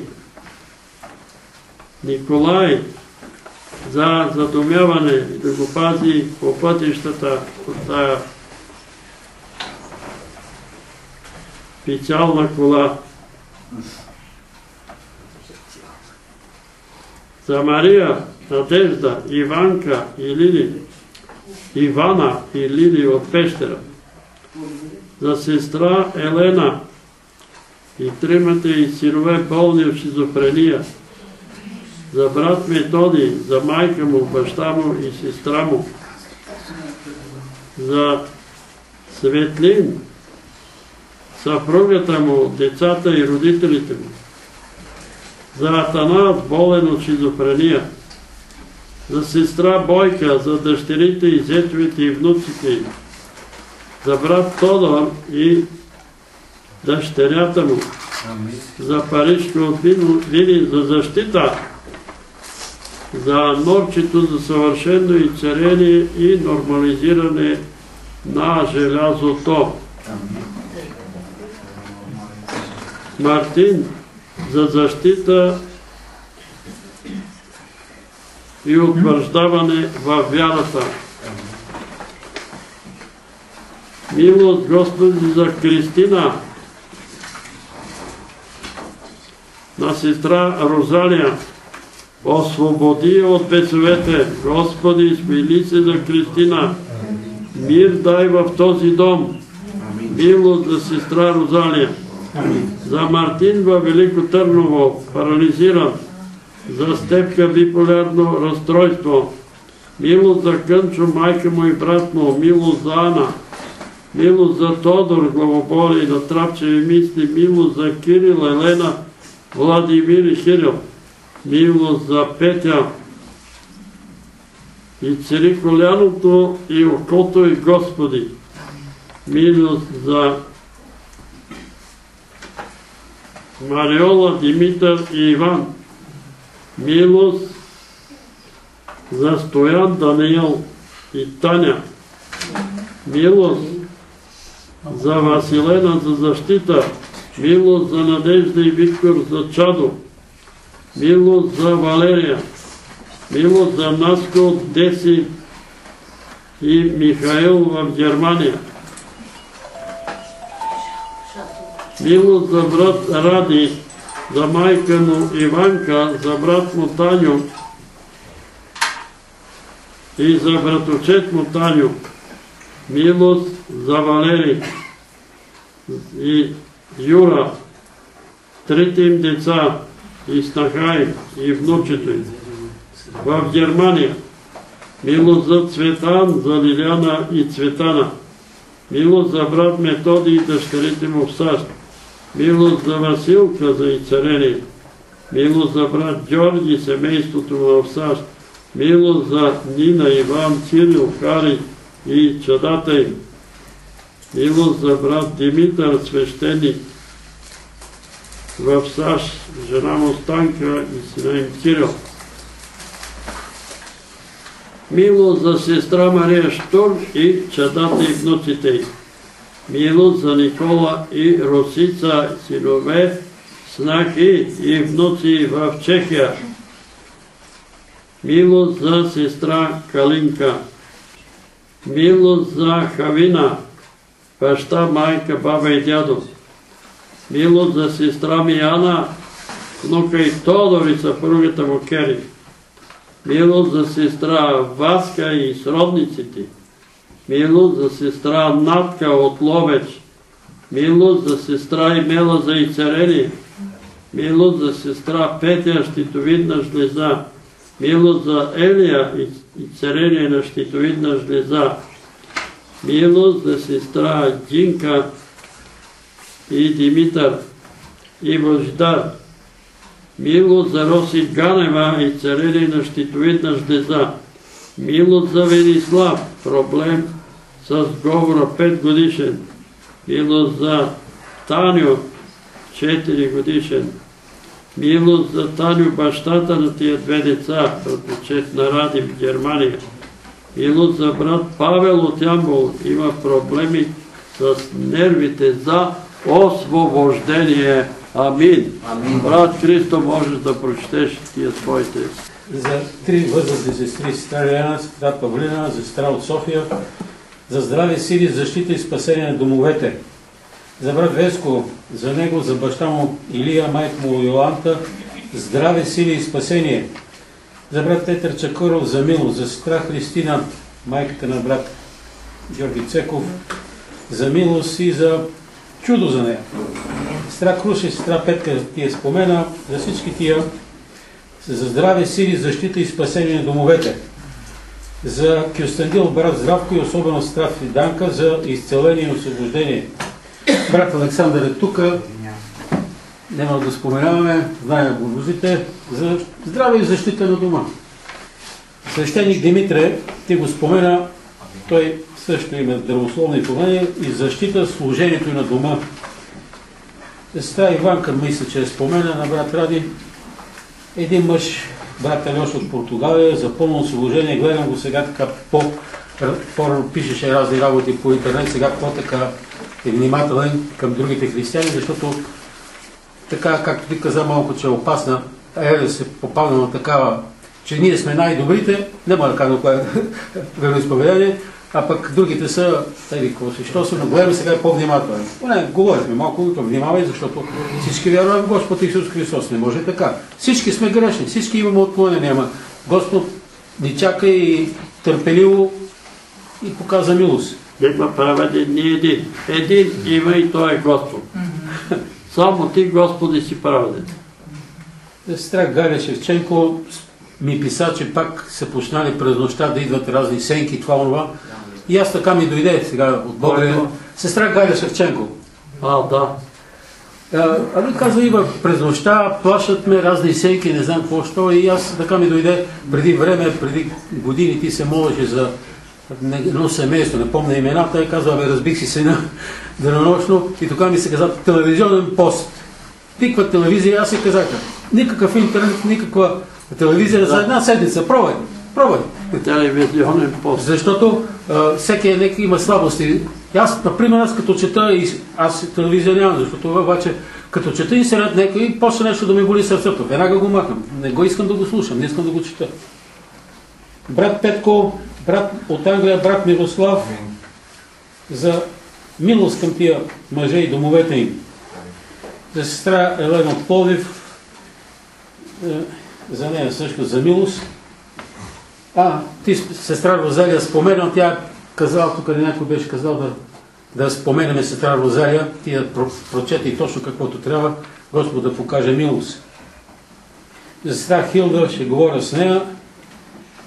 Сестра Таня, благодаря на Бога, че е тук. Сестра Здравко Божури ще я спомена. Слава Богу, че е по-добре.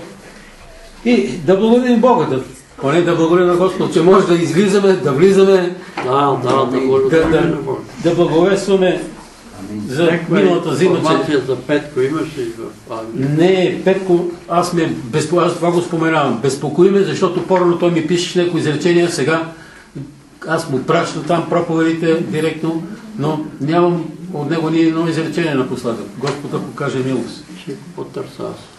А, а, да, благодарим на Бога за показаната милост.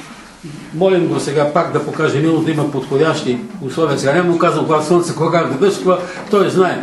Да има хляб, зеленчуци, плодове за народа, пък по милост, не че заслужаваме. И за тия... Да. Да? Още. Да, да, давай, аз мисля, че... За трите неща, които ми каза носно преди 5-6 години, да се моли за подарък покаяние за народа ни, за освобождение духа на Антихриста и за защита на беззащитните, които се, ги мъчат нечестиви човеци, които властта е дадена от Бога, нарочно заради да се покаяме. Тоест, Първото минат те, второ едно до пет, да се молим за тия управници, ти каза преди малко да говорят истината, ма не само да говорят истината, да вършат правда и най-вече това може да стане Господ да им подари страх Господен и милост към сиромасите. Това по-човешки е невъзможно, защото заслужаваме още по-лошо, ама Господ по милост. И това, брат Петър. Някой знае ли за Цонка, добре ли е? Цонка беше болна от...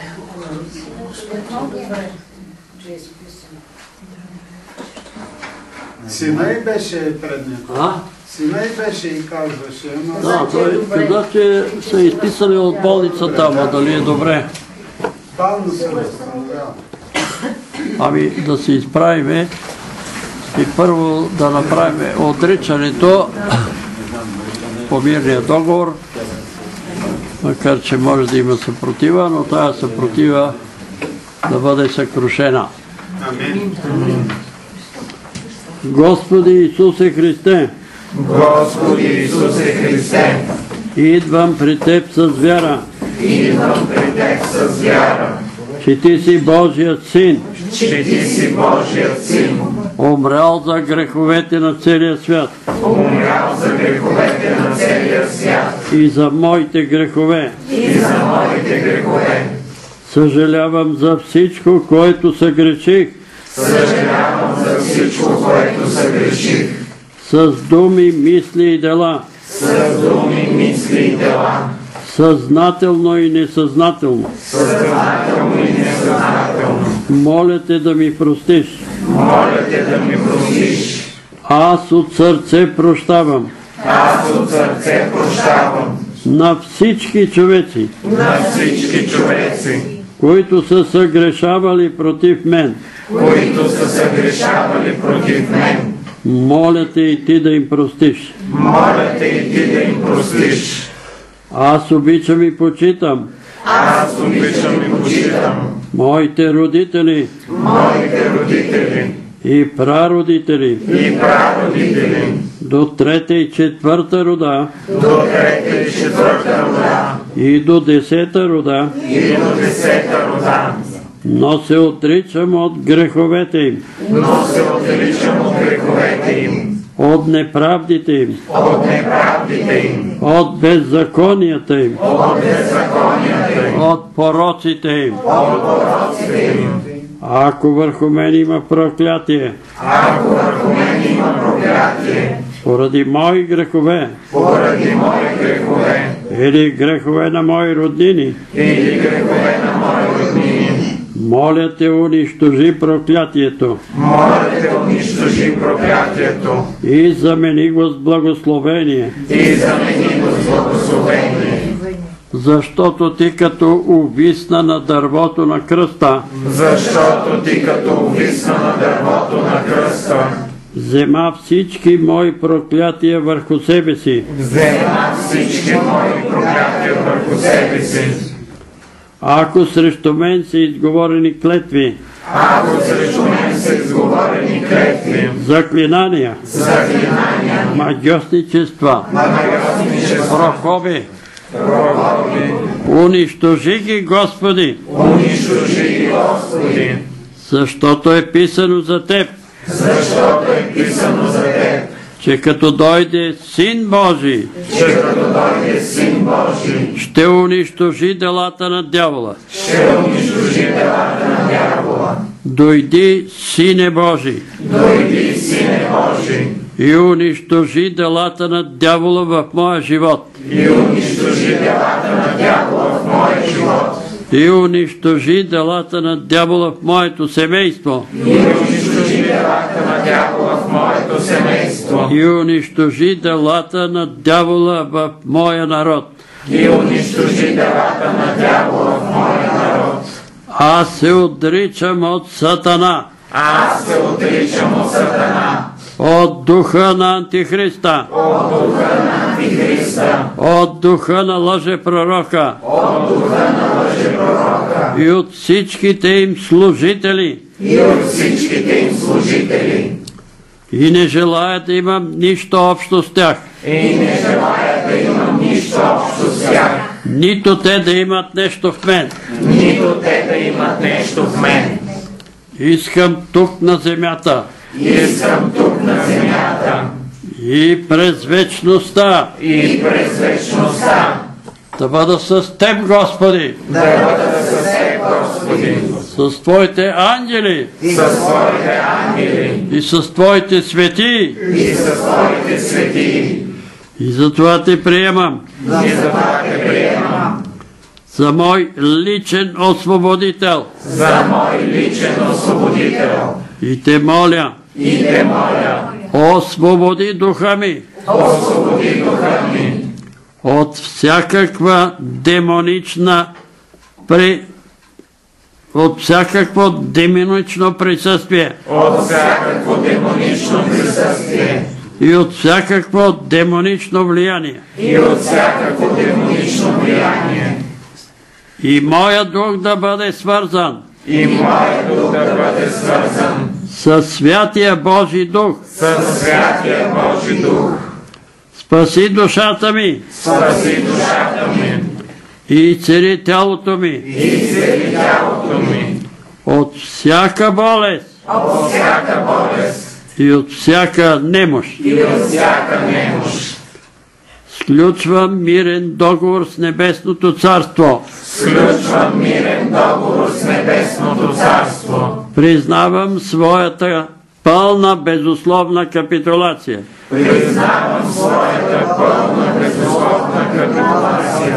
На грешен човек. На грешен човек. И моля. И моля. За защита. За защита. И мир. И мир. С Небесното Царство, с Небесното Царство, с Отец, Син и Светия Дух, с Отец, Син и Светия Дух, с Божиите ангели с Божите ангели и с светиите и с светиите, тук на земята тук на земята и във вечността. и във вечността. Благодаря Ти, Господи, че ме приема. Господи, че ме приема. Поклон на името Ти. Поклон на името Ти. Амин. Амин. Дойди, святи душе. Дойди святе душе. Аз ще се моля. Молиме те сега мини от глава на глава, от сърце на сърце. И изпълни ни с присъствието си и с силата си. Господи, Исусе Христе, Сине Божий, ние вярваме, че Ти си тук между нас с Твоя дух. И затова те молиме, пораси сърцата ни с Твоята кръв. И очисти сърцата ни от гняв, от негодование, от роптание, от грях, от порок, от беззаконие. Очисти и освети сърцата ни и направи ги жилища на Святия Дух. Ела, Души Святи, и изпълни ни със силата си от темето на главите ни до пръстите и петите ни. Твоята сила да премине през нас като електрически ток и да изгори всяко нечестие, всяка болест, всяка немощ. В името на Исус действа и царявай. Премахвай главоболя, изцерявай очи, изцерявай уши, изцерявай крака, изцерявай стави, изцерявай кости, изцерявай сухожилия, изцерявай стомаси, изцерявай черва, изцерявай бъбреци, изцерявай генитали, изцерявай кожни заболявания. Изцерявай всяка немощ и всяка болест сред Божия народ. Слава да бъде на името Ти. Милост, Господи, Исусе Христе, Сине Божий, освети ни и очисти ни сега. Ние сме грешни човеци и няма такъв, който да не е съгрешил. Сега ние ще пристъпиме към Твоята кръв. Ще пристъпиме, Господи, към Твоето тяло да не ни изгориш, защото ти си огън, който пояжда грешните и нечестивите. Но този огън да изгори греха в нас, да изгори всичко това, което те оскърбява. Господи, помилвай ни. Молим ти също за тези брати и сестри, които ще ни слушат по лицето на целия свят, по домовете, където са болни, докосни ги. И цари и освободи душите им. И цари и освободи телата им. И цари освободи духовете им. Да бъдат чисти духом и телом. Алелуя! Молиме те, Отче святи и подари ни физическо и духовно здраве и бодрост. Алилуя! Слава да бъде на името Ти. Помилвай ни, благослови ни, запиши ни в книгата на вечния живот. Помогни ни така да броим дните си, че когато дойде време да застанем пред святия бял престол, да не се срамуваме, но да се зарадваме на Твоето пришествие. Слава да бъде на името Ти. Помилвай нашите роднини и близки. Помилвай Криси и Розалия. Помилвай, Господи, Любомила и Цария съвършенно. Благослови брати и помилвай го. Молим Ти за Темирушка и Георги, които ги няма между нас. Молим Ти за всички уния, които са някъде из провинцията, бъди там с тях, паси ги, помагай и царявай ги. И сега всички заедно желаеме да ти се помолиме с молитвата, с която Твоя син ни е научил да се молим и като се молим и да казваме Отче наш, който си на небесата, да се свети Твоето име, да дойде Твоето царство, да бъде Твоята воля, както на небето, така и на земята. Хлябът наш насъщни, дай го нам днес и прости ни дълговете наши, както и ние прощаваме на нашите длъжници. И не ни въвеждай в изкушение, но избави нас от лукавия, защото е Твое царството и силата и славата во веки веков. Амин.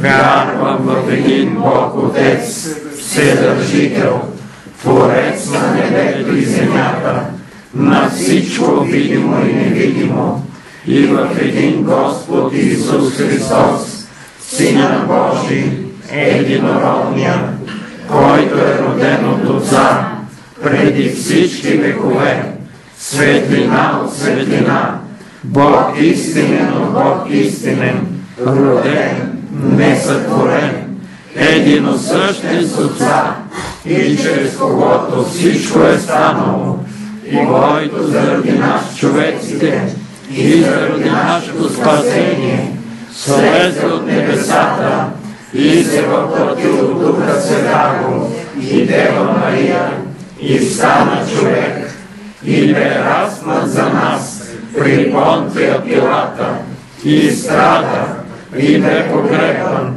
и възкръсна на третия ден според писанията и се възнесе на небесата и седи от дясно на Отца и пак ще дойде със слава да съди живи и мъртви и царството му не ще има край. И в Дух Святаго Господа, животворящия, който от Отца изхожда, комуто се покланяме и го славиме, наравно с Отца и Сина, и който е говорил чрез пророците, в една свята, вселенска и апостолска църква, изповядваме едно кръщение за опрощаване на греховете, чака възкресение на мъртвите и живот във бъдещия век. Амин. Господи, издигам тези дрехи. Моля те да ги осветиш с Твоето присъствие. Силата на Святия Дух да пронижи тези дрехи, да мине през тях и те да бъдат осветени. Докосни се до тях с Твоята прободена ръка, Господи Исусе Христе, и Твоята кръв да освети тези дрехи, когато бъдат поставени върху телата на болните, заповядваме в името на Отца, Сина и Светия Дух всички болестни, зли и нечисти духове. Напуснете телата им. Напуснете душите им. Напуснете духовете им. Напуснете домовете им. Идете там, където Бог ви е определил място и не се връщайте повече. Амин. Ако имате откровения, имате думата. Когато каза, като летвиците, тук святи души мини през нас и действително и не тръпка минаха през мен. И за дрехите, а, когато се моля за тях, виждам един не много малък водопад. Не знам къде. Водата пада надолу, чиста вода. При първата молитва, когато ставаше въпрос за Николай, който не може да спи, това аз го казах тук на брат Петър, може не всички да са чули, но от личен опит, когато не мога да заспа, имало е такива случаи, започвам да се моля, дори когато съм имал болки, жестоки, силни болки, имало е такива случаи, започвам да се моля за тези, които, които са болни и имат такива болки, защото Бог понякога дава болки, за да видим какво другите изпитват, за да бъдем съпричастни. И даже понякога не усещам, кога съм заспал. Така че ако се молите за другите, читайте, че ще бъдете изцерени. Така, когато ставаше въпрос за двете сестри, за Доротея и за, за Красимира, значи Доротея виждам да плува във водоем. Близко до брега, но плува във водоем. По-скоро може би е море, не знам, но голямо е. Голям е водоема, но плува близко до брега. А за Красимира, за алкохола и цигарите виждам двама войници, които се дуелират. И второто, което виждам, един мъж цепи дърва. Понеже и аз съм имал пристрастия, не с алкохол и цигари, с друго, но бях силно зависим и в един момент, когато имах жестоки болки от това, тази зависимост, си казах, край от утре всичко свършва. И наистина от следващия ден всичко свърши вече сигурно 20 години не помирисвам. Това е за мен е порок също. Това пиенето на кафе за мен е порок. Не знам защо, но просто довежда поня... до, до такива жестоки болки, че подкиселява жестоко. И бях принуден. Но без лекарства, без нищо, но със силна воля, изведнъж раз и край. Та вярвам, че тези неща могат да се случат, ако човек има силна воля. С силна воля става, няма нужда от... Аз пих и Божия помощ, аз пих и лекарства, но не ми помогнаха. И за дрехите, значи виждам една болнична стая, в която има лекари и тези лекари извършват визитация. Така че да повярват тези, които на лекаря над лекарите, а пък той има и свои помощници, ангели, свети и всички останали, които могат да помогнат. Но вярвайте, преди всичко вярвайте. Първо на Бога вярвайте и след това на тези, които са тук земните лекари. И вярвам, че ще ви помогне. Амин. Бог да ви благослови. Добре. А, те си отидаха родителите. Не, не, не. А, и за Русица, сестра Русица от Чехия, виждам една мишена, надупчена цялата с стрели при нея за покаяние. Защото тя извършва някои неща, които не са редни. Нека Бог да я доведе до покаяние, защото не знам какво може да се случи. А водоема е света. Значи Доротея има някаква компания, Нали? А, ето ги, да. Компания, които я държат и водат към света. И тя плува там и стоя водоем. Затова това, което говорехме, нали? Постарайте се да я приятелите с друга не водоем, а лодка или катер, в който плуват такива момчета и момичета. Иначе ние ще се молиме, обаче ако вашите деца са в света, наистина Господ действа. Там може да им поговори. Сигурно сте чували за блажения Августин, учител в католическата църква и православната църква го приема. Блажения Августин произхожда от вярващо семейство, майка му е била вярваща, но той е бил, е живел в света. Ходил е с много жени и момичета, дори се е занимавали с окултизъм и с магиотничество. Един ден майка му му казала, молих се и се изморих да се моля за теб. Спирам да се моля. Сега те предавам братцете на живия Бог. Той да се справя с теб. И той отишъл на танцова забава.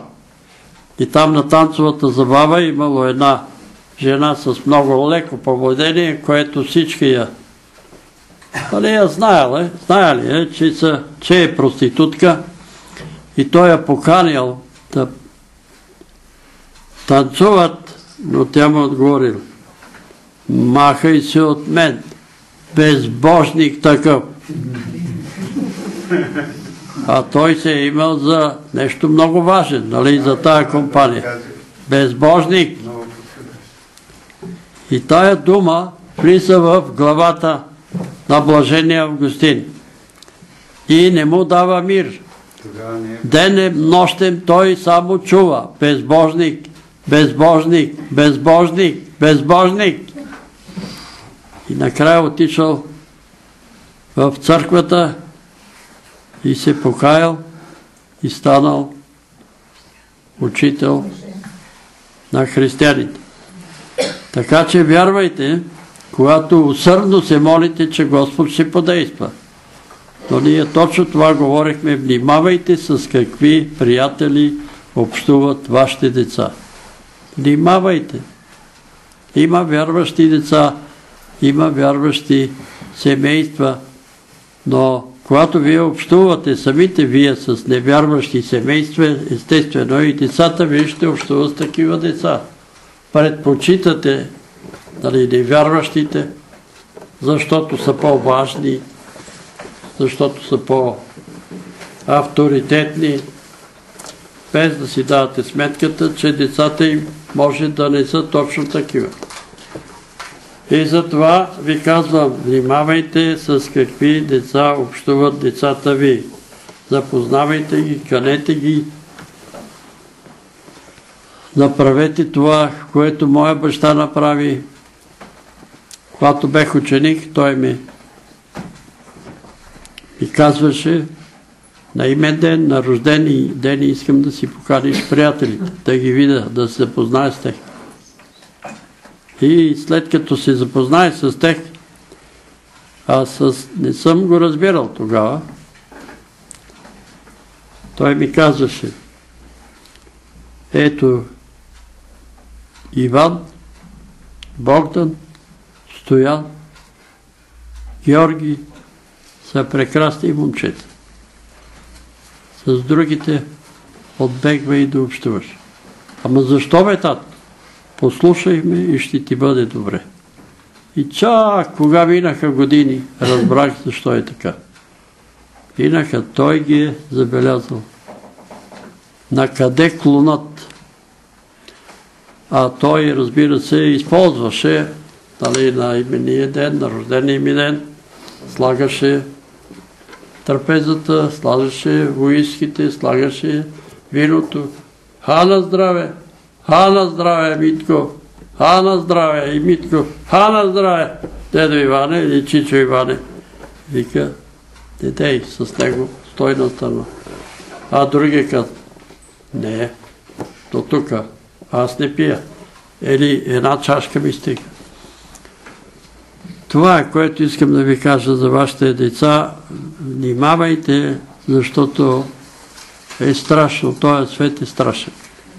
Страшен е, казва ви от опит. Ето, на мой първи братушет, внучето. Пълен отличник завърши средно образование. И те знаят, че той е много добро момче. Прекрасен младеж. И изведнъж попада в Исул. Пребит от бой, с чупена ръка. Без да знаят родителите къде е.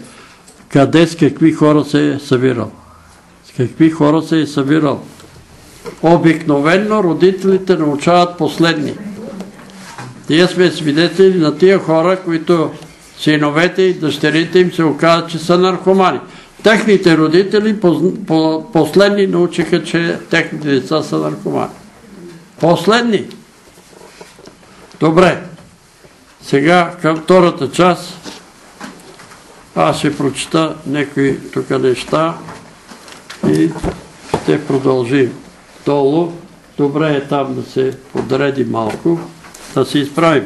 Аз приех от Господа това, що ви предадох, а именно, че Господ Исус през нощта, когато бе предаден, взе хляб и поблагодари, преломи и каза, вземете и яще, това е моето тяло, за вас преломявано. Това правете за мой спомен. Взе също и чашата подир вечеря и каза, тая чаша е новия завет в моята кръв. Това правете, колчем пиете за мой спомен. Защото колчем ядете тоя хляб и пиете тая чаша, вие възвестявате смъртта на Господа, докле дойде Той. Затова, който яде тоя хляб или пие чаша недостойна, виновен ще бъде спрямо тялото и кръвта Господни, Господня. Но нека човек да изпитва себе си и тогава да яде от хляба и да пие от чашата. Защото който яде и пие недостойно, той яде и пие своето осъждане, понеже не различава тялото Господне. Затова между вас има много немощни и болни, а и умират доста. Защото ако бихте изпитвали сами себе си, нямаше да бъдете съдени. А бидейки така съдени, от Господа се наказваме, за да не бъдем осъдени заедно с света. Затова, брате мои, когато се събирате на вечера, чакайте се един други. Амин. Амин. Така може да се не чуде. Аз приех от Господа това, що ви предадох, а именно, че Господ Исус през нощта, когато бе предаден, взе хляб и поблагодари, преломи и каза, вземете и яще. Това е моето тяло, за вас преломявано. Това правете за мой спомен. Исус не може да лъже. Исус казва истината. Това е тайна, която ние не можем да разбереме. Ние говориме и продължаваме да говориме. Дали знам, че имам много противници, професори, учени, хора казват, че това може да бъде Христовото тяло, защото е вземал хляб. А трябвало да каже нали, безпасен хляб. А той пише, че е вземал хляб.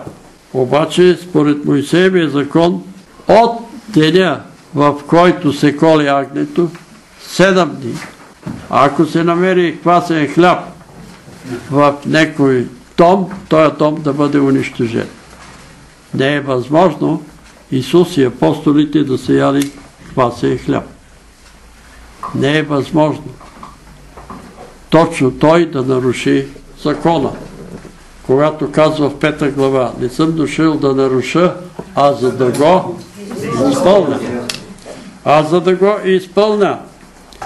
И след това, а също и чашата подир вечеря и каза, тая чаша е новия завет в моята кръв. Това правете колчем пиете за мой спомен. И противниците на Христовата кръв казват, не беше възможно, защото неговата кръв още не беше пролята. Още не беше пролята. И ние знаеме кой е Исус. Когато Исус каза Лазара излез вън, Лазар беше мъртъв. В него нямаше капчица кръв. И Лазар излезе вън. Артериите и вените на Лазар беха пълни с кръв. Откъде си взема тая кръв? Откъде? Тези професори, тези учени ги говорят тия неща, защото считат, че Исус е човек като тях. Като тях. Нали? Нали? Той е един човек, немощен човек и за да пиеме неговата кръв, първо той трябваше да умре на Голгота на кръста, тая кръв да се пролее там и така нататък. Той, който прави кръвта, той, който създава чрез него, всичко е сътворено. И когато ние взимаме от тая чаша, ние трябва да вярваме, че взимаме тая кръв, която ще ни измие и ще ни очисти от всеки грях и от всяка неправда. И затова трябва да пиеме, като изпитаме себе си, дали сме във вярата. Вярваме ли, че Исус е възкръснал? Или взимаме така за всеки случай? Защото някои вярват, че като пият от кръвта, от, като вземат причастие от виното и от хляба, те са осветени, може да получат и царение. Може, разбира се. Те наистина са осветени. Но освен това ние вярваме, че те са преосъществени. Или както казва Мартин Лютер, той казва за себе си. Аз вярвам, че заедно с този хляб ям тялото на Господ Исус Христос. Причестявам си. Понеже съм чувал по евангелските църкви, това не е причастие. То е причастие. Защото апостол Павел пише, то е Святия Дух, чрез перото на апостол Павел казва, така ние, като ядеме от този хляб и пиеме от тая чаша, ставаме с причастници с Исус и помежду си. Ставаме с причастници. Това е причастие. И ние вярваме, че ядеме Неговото тяло и пиеме Неговата кръв и това правим за Него спомен, докте, докле дойде Той. Вие знаете, че в православната църква се правят помени за починали. Да си спомним, това са спомени за покойниците. И протестантите естествено се присмиват. Некои много учени протестанти се присмиват за тия спомени, че ние си спомняме за починали ми баща, починали майка и така нататък. Но това не е за присмиване и не е за подигравка. А всичко това трябва да го правим с страхопочитание. Както към нашите покойници, така и към Господ Исус Христос. Разбира се, разликата е огромна, когато правим този спомен за нашия Господ Исус, докре дойде Той. Но много са болни, защото не различават Божията чаша. Какво трябва да знаеме? Кой има право да участва в тази Господна трапеза? Трябва да има водно кръщение, да има воден завет с Бога, да е сключил завет с Бога. Ние сключихме мирен договор с Небесното царство необходимо и да има водно кръщение. За съжаление, това не се спазва в много евангелски църкви. Техните деца не са кръстени. Те са на 30 години. На 40 години Мартин, 39 годишен, не е кръстен и изимал Господна трапеза и сега виждате какво ухаяно състояние се намира. И не само той, но и всички уния, които се изволяват, те не са в Божието общество, но те са деца на вярващи. Няма значение. Съдът ще бъде индивидуален. Нема да бъде родов съд. Ще има родови грехове, но когато дойде страшния съд, Бог ще изправи баща ми, после ще ми изправи мен и ще се отворят книгите и там в тая книга пише Петър, Иванов, Цветанов, Велев. На тая дата си направил това и това. На тая дата си говорил несериозно относно святите неща. И така, който има водно кръщение, може да пристъпи. Дали е ял, дали е пил кафе или вода или лекарства. Тук при нас нема такава забрана. Защото ето тук четем. А след вечерата.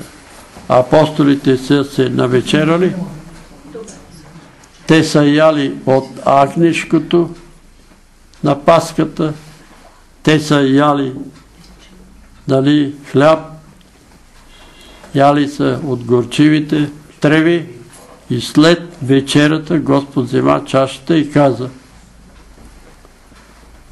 това е чашата на новия завет в моята кръв. По-добре като имаме предвид, че ще приемеме кръвта на Исус и тялото на Исус да бъдем в съвършен пост. Да бъдем в пост. Това, което аз имам като откровение, нали, добре е преди да пристъпиме към тази чаша и този хляб, да измиеме тялото си с чиста вода. Това го има и в Стария Завет, когато пристъпваме каквато и да е светиня, а в Новия Завет нямаме по-голяма светиня от кръвта и тялото на Господ Исус Христос. И аз съм свидетел как някои сестри и братя реагираха в боли на ливада, казаха, че не могат, те ходят на работа и това не е важно. И се разболяха и си отидаха. Няма ги. Важно е. Всеко нещо е важно. Но другото е важно. Дали има човек, на когото ние не сме простили. Човек, който ни е направил пакост, който ни е обидел, наскърбил ни, ядосал ни и ние не сме, не искаме да му простим. Бил той близък или далечен. Извинявайте, тук ще кажа една тежка дума. Бил той министър-председател, бил той президент на България, президент на Украина или президент на Русия. Ако ти не можеш да му простиш, помири се. Остави тия неща на Бога. Остави на Господ. Той да решава тия проблеми. Никого не осъждайте. Не е дадено нам да бъдем съдии. Защото ще дойде време, ние не знаем истината. Ние знаем и сега, че загиват деца. Знаем и сега, че убиват жени. Знаем, че разрушават. Нали, аз слушах министър-председател. Блокове като в младост са съсипани и разрушени. Разбити, унищожени. Тия хора ще си отговарят. Но не съм аз, той, който ще ги съда. Защото ви казвам, че аз също сънувах сън, че блоковете в младост ще бъдат сринати, ако народа не се покае. Ако жителите на квартал Младост не се покаят, те ще бъдат изринати с земята. И затова нещата са много сложни. Не дейте да съдите никого. Сега, когато пристъпваме към тая чаша, нито оправдавайте некого, без да знаете какво върши. Оставете отмъщението, казва Господ. Не е ваше. Отмъщението е мое, казва Господ. Той ще даде на всеки го според делата. Бъдете абсолютно сигурни, че всеки ще си получи своята награда. И затова да изпитваме себе си, за да не пострадаме. Да не оправдаваме виновните, защото това е много опасно. Да не осъждаме невиновните, защото е още по-опасно. Още по-опасно. И да кажем, Господи, Ти знаеш. Ти знаеш, Ти ще въздадеш на всекого според делата му. Но като християни можем да се молиме и да искаме мир. Мир за България. Мир за Украина. Мир за Русия. Другото оставете в ръцете на Бога. Така, брат Христо, Панчо, ако обичаш и ти, понеже имаме откровение за тебе, ти да участваш. Слизайте. Сега аз пак ще ви помоля. А, и брат Патриков, извинявай, че те забрави. Нека да се молиме, който може да коведиче, който може да се изправи. Господи Исусе, издига този хляб пред Теб и искам да изпълня Твоята заповед. Но те моля този хляб да бъде осветен. Амин. Да бъде преосъществен. Как става това, не знае. Но вярвам, че става. Как се напълниха вените артериите на Лазар с кръв, не знам. Но знам, че е станал. И го вярвам. И затова те моля, Господи, всички уния, които ще вкусят от една частичка от този хляб, да бъдат осветени. Да бъдем очистени от всеки грях, от всяка неправда, от всяко беззаконие. Господи, ние от сърце. Прощаваме на всички човеци, които са съгрешавали против нас, които са ни ограбвали, унижавали, които са възставали срещу нас. Прости ни, ако сме се опитвали да им отвръщаме зло с зло. Сега ги оставяме в Твоите ръце. Ти да ги благословиш. И те молим, благослови враговете. Помилвай ги. Направи ги наши брати и сестри. Помилвай нашите родини и близки. Помилвай нашите началници, нашите управници. Разуми ги, Господи. Стигаме този хляб да бъде преосъществен в Христово тяло. Господи, и всеки, който вкуси от Него, да отвори сърцето си за Твоето тяло. И Ти очисти сърцата ни и влез с Твоя дух и живей в сърцата ни. Не знаеме как Ти, Творецът, Господарят на Вселената, на когото се даде всяка власт на небето и земята, можеш да се побереш моето сърце. Но вярвам, че Твоя дух може да живее в моето сърце. И аз отварям сърцето си и те моля всички брати и сестри, които отварят сърцата си за Теб, влез в сърцата им и очисти ги, в тях. Ето разчупвам този хляб, както се разчупи Твоето дяло на Голгота на кръста за греховете на целия свят. Беше принесено в жертва.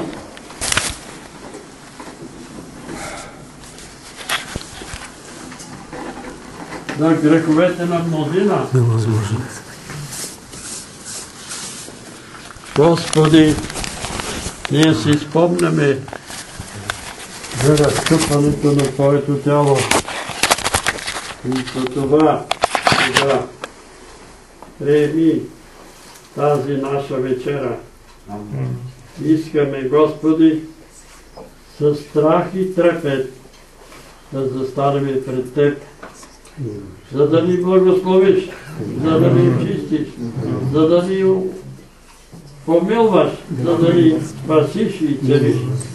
Благодарим и Ти, Господи. Брат Тодоре, моли се за хляб. Господи Боже, ето ние сме застанали пред Теб, всички тук. Ти виждаш сърцата ни, Боже. Молим Те, прости греховете ни. Прости всичко, което извършихме съзнателно и несъзнателно. Стоим пред Тебе, Господи, и сме открити. Опитваме се да разберем това, как вникваш в нас и как знаеш всичко още от мисълта, когато тя се заражда. Но ето пред Теб сме открити, Господи Боже, и Те молим за милост. Защото като Те помолим и като ни простиш, и като се покаем и съжалим за греховете си, можем по искрено и по-близко да застанем пред Тебе, Боже. Защото в Твоето царство няма да влезе никой нечист. И затова се стремим и към Твоите дарове чудни, които Ти ни даряваш всеки път, когато се обърнем към Теб. И ето, хляба е тук, Господи, и ние помолихме и продължаваме да се молим. Той да стане Твое тяло, Боже. Защото Твоите чудни дарове, след като си казал, че Той става Твое тяло, ние знаем, че ще стане. Кога става това? Не знаем, но ето в мисълта на всеки един от нас е, когато искрено приеме, в него ще бъде Божието тяло. В него ще бъде Божията кръв. Амин. И ето сега те молим, Господи, помилвай ни, както ти си, както Твоят възлюбен цар Давид е, се е обърнал към Теб и е казал, помилваме Боже по голямата си милост и по многото си щедрости изглади беззаконията. Много пъти ме уми от моето беззаконие и очисти от моя грях, защото беззаконието си съзнавам и моя грях е винаги пред мене. Пред Теб, пред Теб едничък съгреших и лошо пред Твоите очи извърших, тъй че Ти си прав в Твоята присъда и чист в Твоят съд. Ето, в беззаконие съм в грях ме роди майка ми. А ти обик на истината в сърцето и вътре в мен ми яви мъдростта си. Пораси ме си соп и ще бъда чист, уми ме и ще бъда по-бяла от него. Дай ми да чуя радост и веселие и ще се зарадат костите от теб съкрушени. Отвърни лицето си от греховете ми и изглади всичките ми беззакони. Сърце чисто създай в мен, Боже, и правия дух обнови вътре в мен. Не ме отхвърли от лицето си и светия Твой дух не отнима от мен. Върни ми радостта на Твоето спасение и властният дух ме утвърди. Беззаконните ще науча на Твоите пътища и нечестивите към Теб ще се обърна. Избави ме от кръвнина, Боже, Боже на моето спасение. Езикът ми ще възхвали Твоята правда.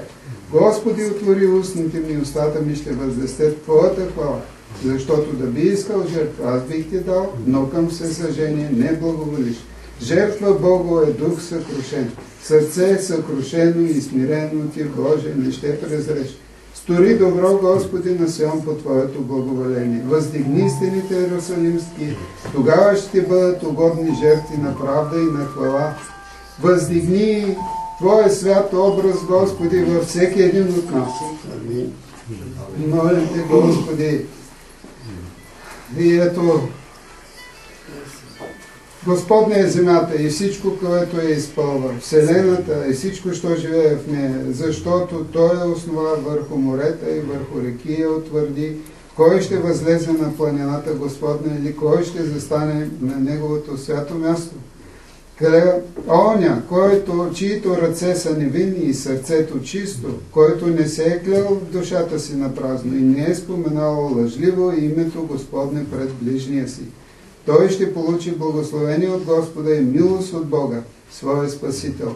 Такъв е родът на уния, които го търсят и които търсят Твоето лице, Боже Яково. Повдигнете се порти горнището си, подигнете се вечни порти и ще влезе царя на славата. Кой е този цар на славата? Крепкият и силният Господ, силният на война Господ. Подигнете порти горнището си, подигнете се вечни порти и ще влезе царя на славата.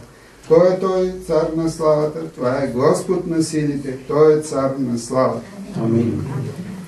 И понеже Господи, ние искаме и се стремим към Теб и знаем, че Ти си наш пастир и ни водиш към а, добри пазбища, злачни и към тихи води. Те молим, Господи, за този хляб да го направиш такава чудна храна за нас, каквато Ти си обещал и каквато даваш всеки път на, по време на такава служба. Молим Те, Господи, направи го Твое тяло. Направи този хляб Твое тяло, Господи, защото в Твоята власт е това. И ние искаме да приемем Твоето тяло за очистване, освещение и за вечен живот. Амин. Господи, помилвай ни. Чрез Твоето тяло да се съединим с Тебе, Господи. И прости на нас грешните, които се обръщаме към Теб и се молим заради всички останали. Но се молим заедно с тях и те молим и за тяхното освещаване на всички, които пребивават тук, Господи. Да приемат тези Твои дарове достойно. Никой да не пострада. Амин. А да изгориш всички грехове у нас и най-малките грешни помисли, дори. Господи, и да си тръгнем от тук очистени, осветени и подготвени за Твоето Царство Божие вечно.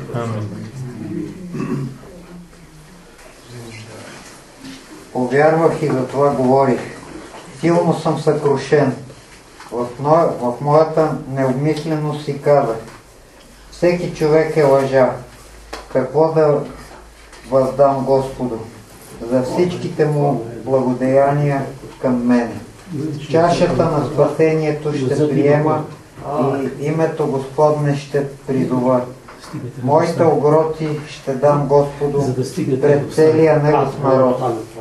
Скъпа е в очите на Господа смъртта на Неговите светии. О Господи, аз съм Твой раб, аз съм Твой раб и син на Твоята рабиня.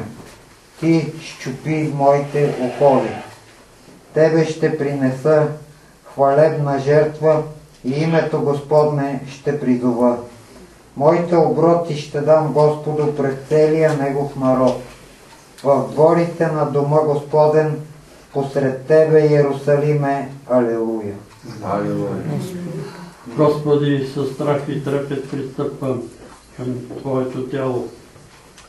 Заедно с този хляб аз имам частица от Твоето разкъсано Твоето тяло. И вярвам, че така ставам съпричастни с Твоите страдания и съпричастни с моите брати и сестри от целия свят, които си спомнят за Твоята смърт.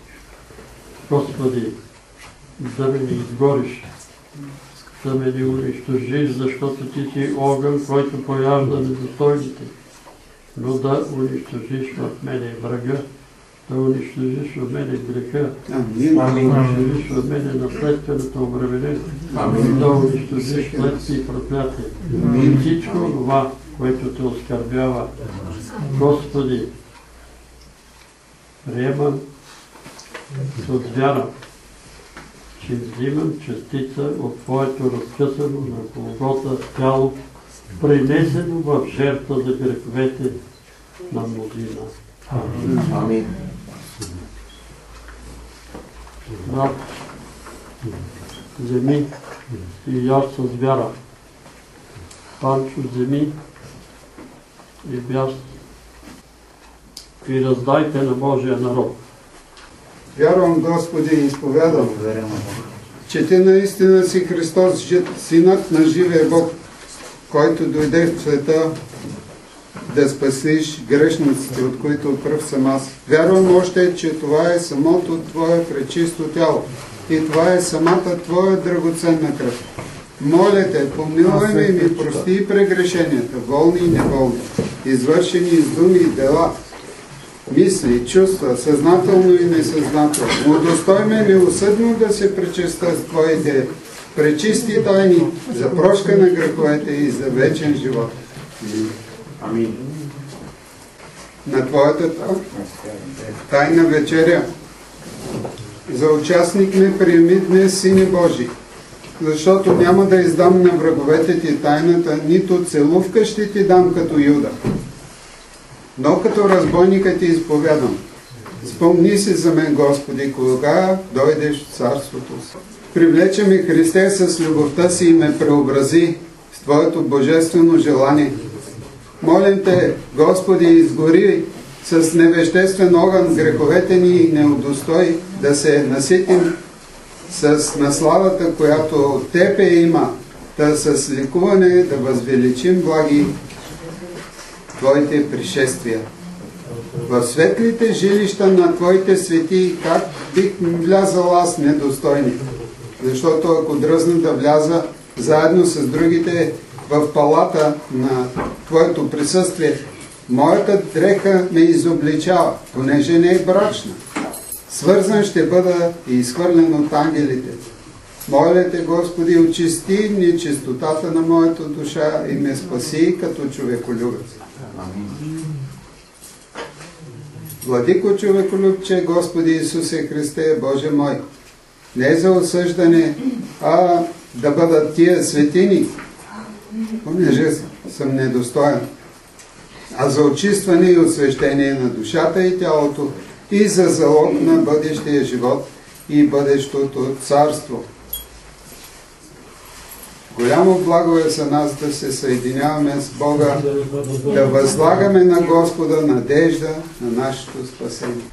Господи Исусе Христе, Боже наш, облегчи, отпусни и прости на нас грешните, негодни, недостойни Твои раби и прегрешенията, които съгрешихме и по молитвите на безсемено родилата Те пречиста и пресно Дева Мария, Твоята майка, Богородица, наша непосрамваща надежда, застъпница и спасение, удостойни и неосъдно да се пречестим с Твоите безсмъртни и животворящи и страшни тайни. За прошка на греховете и за вечен живот, за освещение, просвещение, сила, изцерение, здраве на душата и тялото и за премахване и пълно унищожаване на всички наши лоши мисли, помисли, предприятия, нощни Има мечтания. ли някой забравен? Много дошъл. Святи Боже, святи и крепки, святи и безсмертни, помилвай нас. И дигаме тази чаша, Отче святи и праведни, пред Теб. И вярваме, че това е чашата, която беше пролята на Голгота на кръста за умилостивление на нашите грехове. Това е кръвта на нашия Господ и Твоя единороден и възлюблен Син. Господи, Ти знаеш, че всички ние, Отче святи и праведни, сме приели приятелството на Твоя единороден и възлюблен Син и аз знам, Господи, Боже наш, че Ти ни обичаш и ще ни помагаш. И затова те молиме, освети тази чаша. Преосъществи я в Христова кръв. Молим и Ти, Души Святи, освети всички люди, които ще пият от тази чаша. Слава да бъде името Ти. Вярвам и изповядвам на думите, който пие моята кръв, има живот вечен и аз ще го възкреся в последния ден. Господи Исусе Христе, Сине Божий, ето пристъпвам и пия Твоята кръв и вярвам, че Ти ще ме възкресиш в последния ден. И вярвам, че Ти ще възкресиш моите брати и сестри в последния ден. И всички ние, които пиеме от тая чаша, ще бъдем заедно с Теб, заедно с Твоите ангели, там, където си бил преди свет да съществува, за да гледаме Твоята слава. Слава да бъде на името Ти, Господи, с страхопочитание, с страх и трепет, но и с радост пристъпвам към тази чаша и пия от това вино, което е Твоя кръв. Амин. Брат Христо, раздай, брат Панчо, раздай. Господи Боже наш, колко е величествено Твоето име по цялата земя. Твоята слава се простира по-горе от небесата. Из устата на младенци и кърмачета Ти си стъпомило похвала, да засрамиш Твоите врагове, да да направиш да млъкне и враг и мъстител. Кога гледам Твоите небеса, дело на Твоите пръсти, месечина и звезди, които си поставил, казвам си, що е човек, да го помниш и син човечески, да го спохождаш. Понизил си го малко нещо спрямо ангелите, със слава и чест си го увенчал. Поставил си го владетел на делата на Твоите ръце. Всичко си покорил под нозете му. Овци и волове, всички, а също и зверовете полски, птици небесни, риби морски, всичко, що преминава морските пътища. Господи Боже наш, колко е величествено Твоето име по цялата земя. Небесата проповядват славата на Бога и за делата на ръцете му възвестява твърта, ден на ден, реч предава и нощ на нощ знание открива. Няма език и няма наречие, дето не би се чувал техния глас, техния звук се носи по цяла земя и техните думи по краища на Вселената. В тях Той е поставил жилище на Слънцето. Той излиза като жених из брачния си палат, радва се като изполин да измине пътя си и от края на небесата е изходът му и шествието му до другия край и от неговата топлина нищо се не укрива. Законът на Господа е съвършен, укрепва душата. Откровението Господне е вярно, простите прави мъдри. Господните повеления са праведни, веселят сърцето. Господната заповед е светла, просветлява очите. Страхът Господен е чист, пребъдва навеки. Съдбите Господни са истина, всички са праведни. Те са по-желани от злато и дори от множество чисто злато, по-сладки от мед и капки от вощен мед. И твоят раб бива опазван от тях и тяхното спазване е великата награда. Кой ще съгледа своите грешки? От моите тайни грехове ме очисти и от умишлените удържи раба си, за да не ме обладава. Тогава аз ще бъда непорочен и чист от голямо развращение. Думите на устата ми и помислите на сърцето ми да бъдат благогодни пред Тебе, Господи, крепост моя избавителю мой. Господ е пастир мой, от нищо не ще се нуждая. Той ме настанява на злачни пазбища и ме води на тихи води. Подкрепя душата ми, насочваме по пътя на правдата, заради Твоето име. Да тръгна по долината на смъртната сянка, няма да се оплаша от злото, защото Ти си с мен. Твоя жезъл и Твоята палица ме успокояват и приготви пред мен трапеза пред очите на враговете ми, помаза главата ми селей. Чашата ми е препълнена, тъй благостта и милостта ти да ме предложават пред всичките дни на живота ми. И аз ще пребъдвам в дома Господен много дни. Панчо, айде, осми псалом да прочетеш. А, ако що, Ой, прочете осми псалом. да. Господи Боже наш, колко е величествено Твоето име по цяла земя. Твоята слава се простира по-горе от небесата. Из устата на младенци и кърмачета ти си стъкмил похвала, за да засрамиш Твоите врагове, за да направиш да млъкне враг и мъстител. Кога гледам Твоите небеса, дело на Твоите пръсти, месечината и звездите, които си поставил, казвам си. Що е човек да, го помниш и син човечески да го спохождаш? Понизил си го по с малко нещо спроти ангелите, със слава и чест си го увенчал. Поставил си го владетел на телата на твоите ръце. Всичко си покорил под нозете му. Овци и волове, всички, а също и зверовете полски, птици небесни и риби морски. Всичко, що преминава морските пътища. Господи Боже наш, колко е величествено Твоето име от цялата земя. Амин. А след вечерата изпяха химн. Алилуя!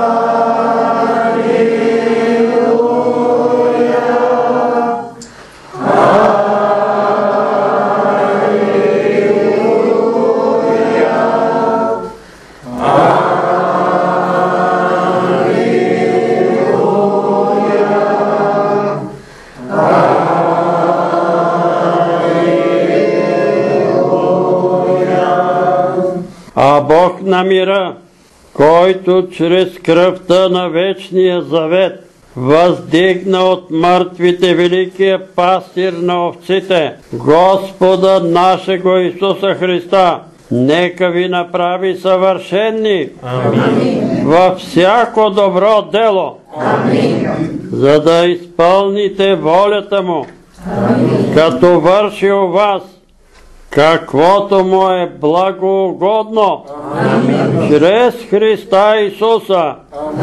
Нему слава во веки веков. Амин. И сега благодата на нашия Господ Исус Христос, любовта на Бога Отца, общението и ръководството на Святия Божий Дух да бъде с всички нас, с домовете ни, с родовете ни, с църквата му на това място, в град София, цяла България, в Иерусалим, в Израел. И по лицето на целия свят, от сега и до века. Амин. До нови срещи.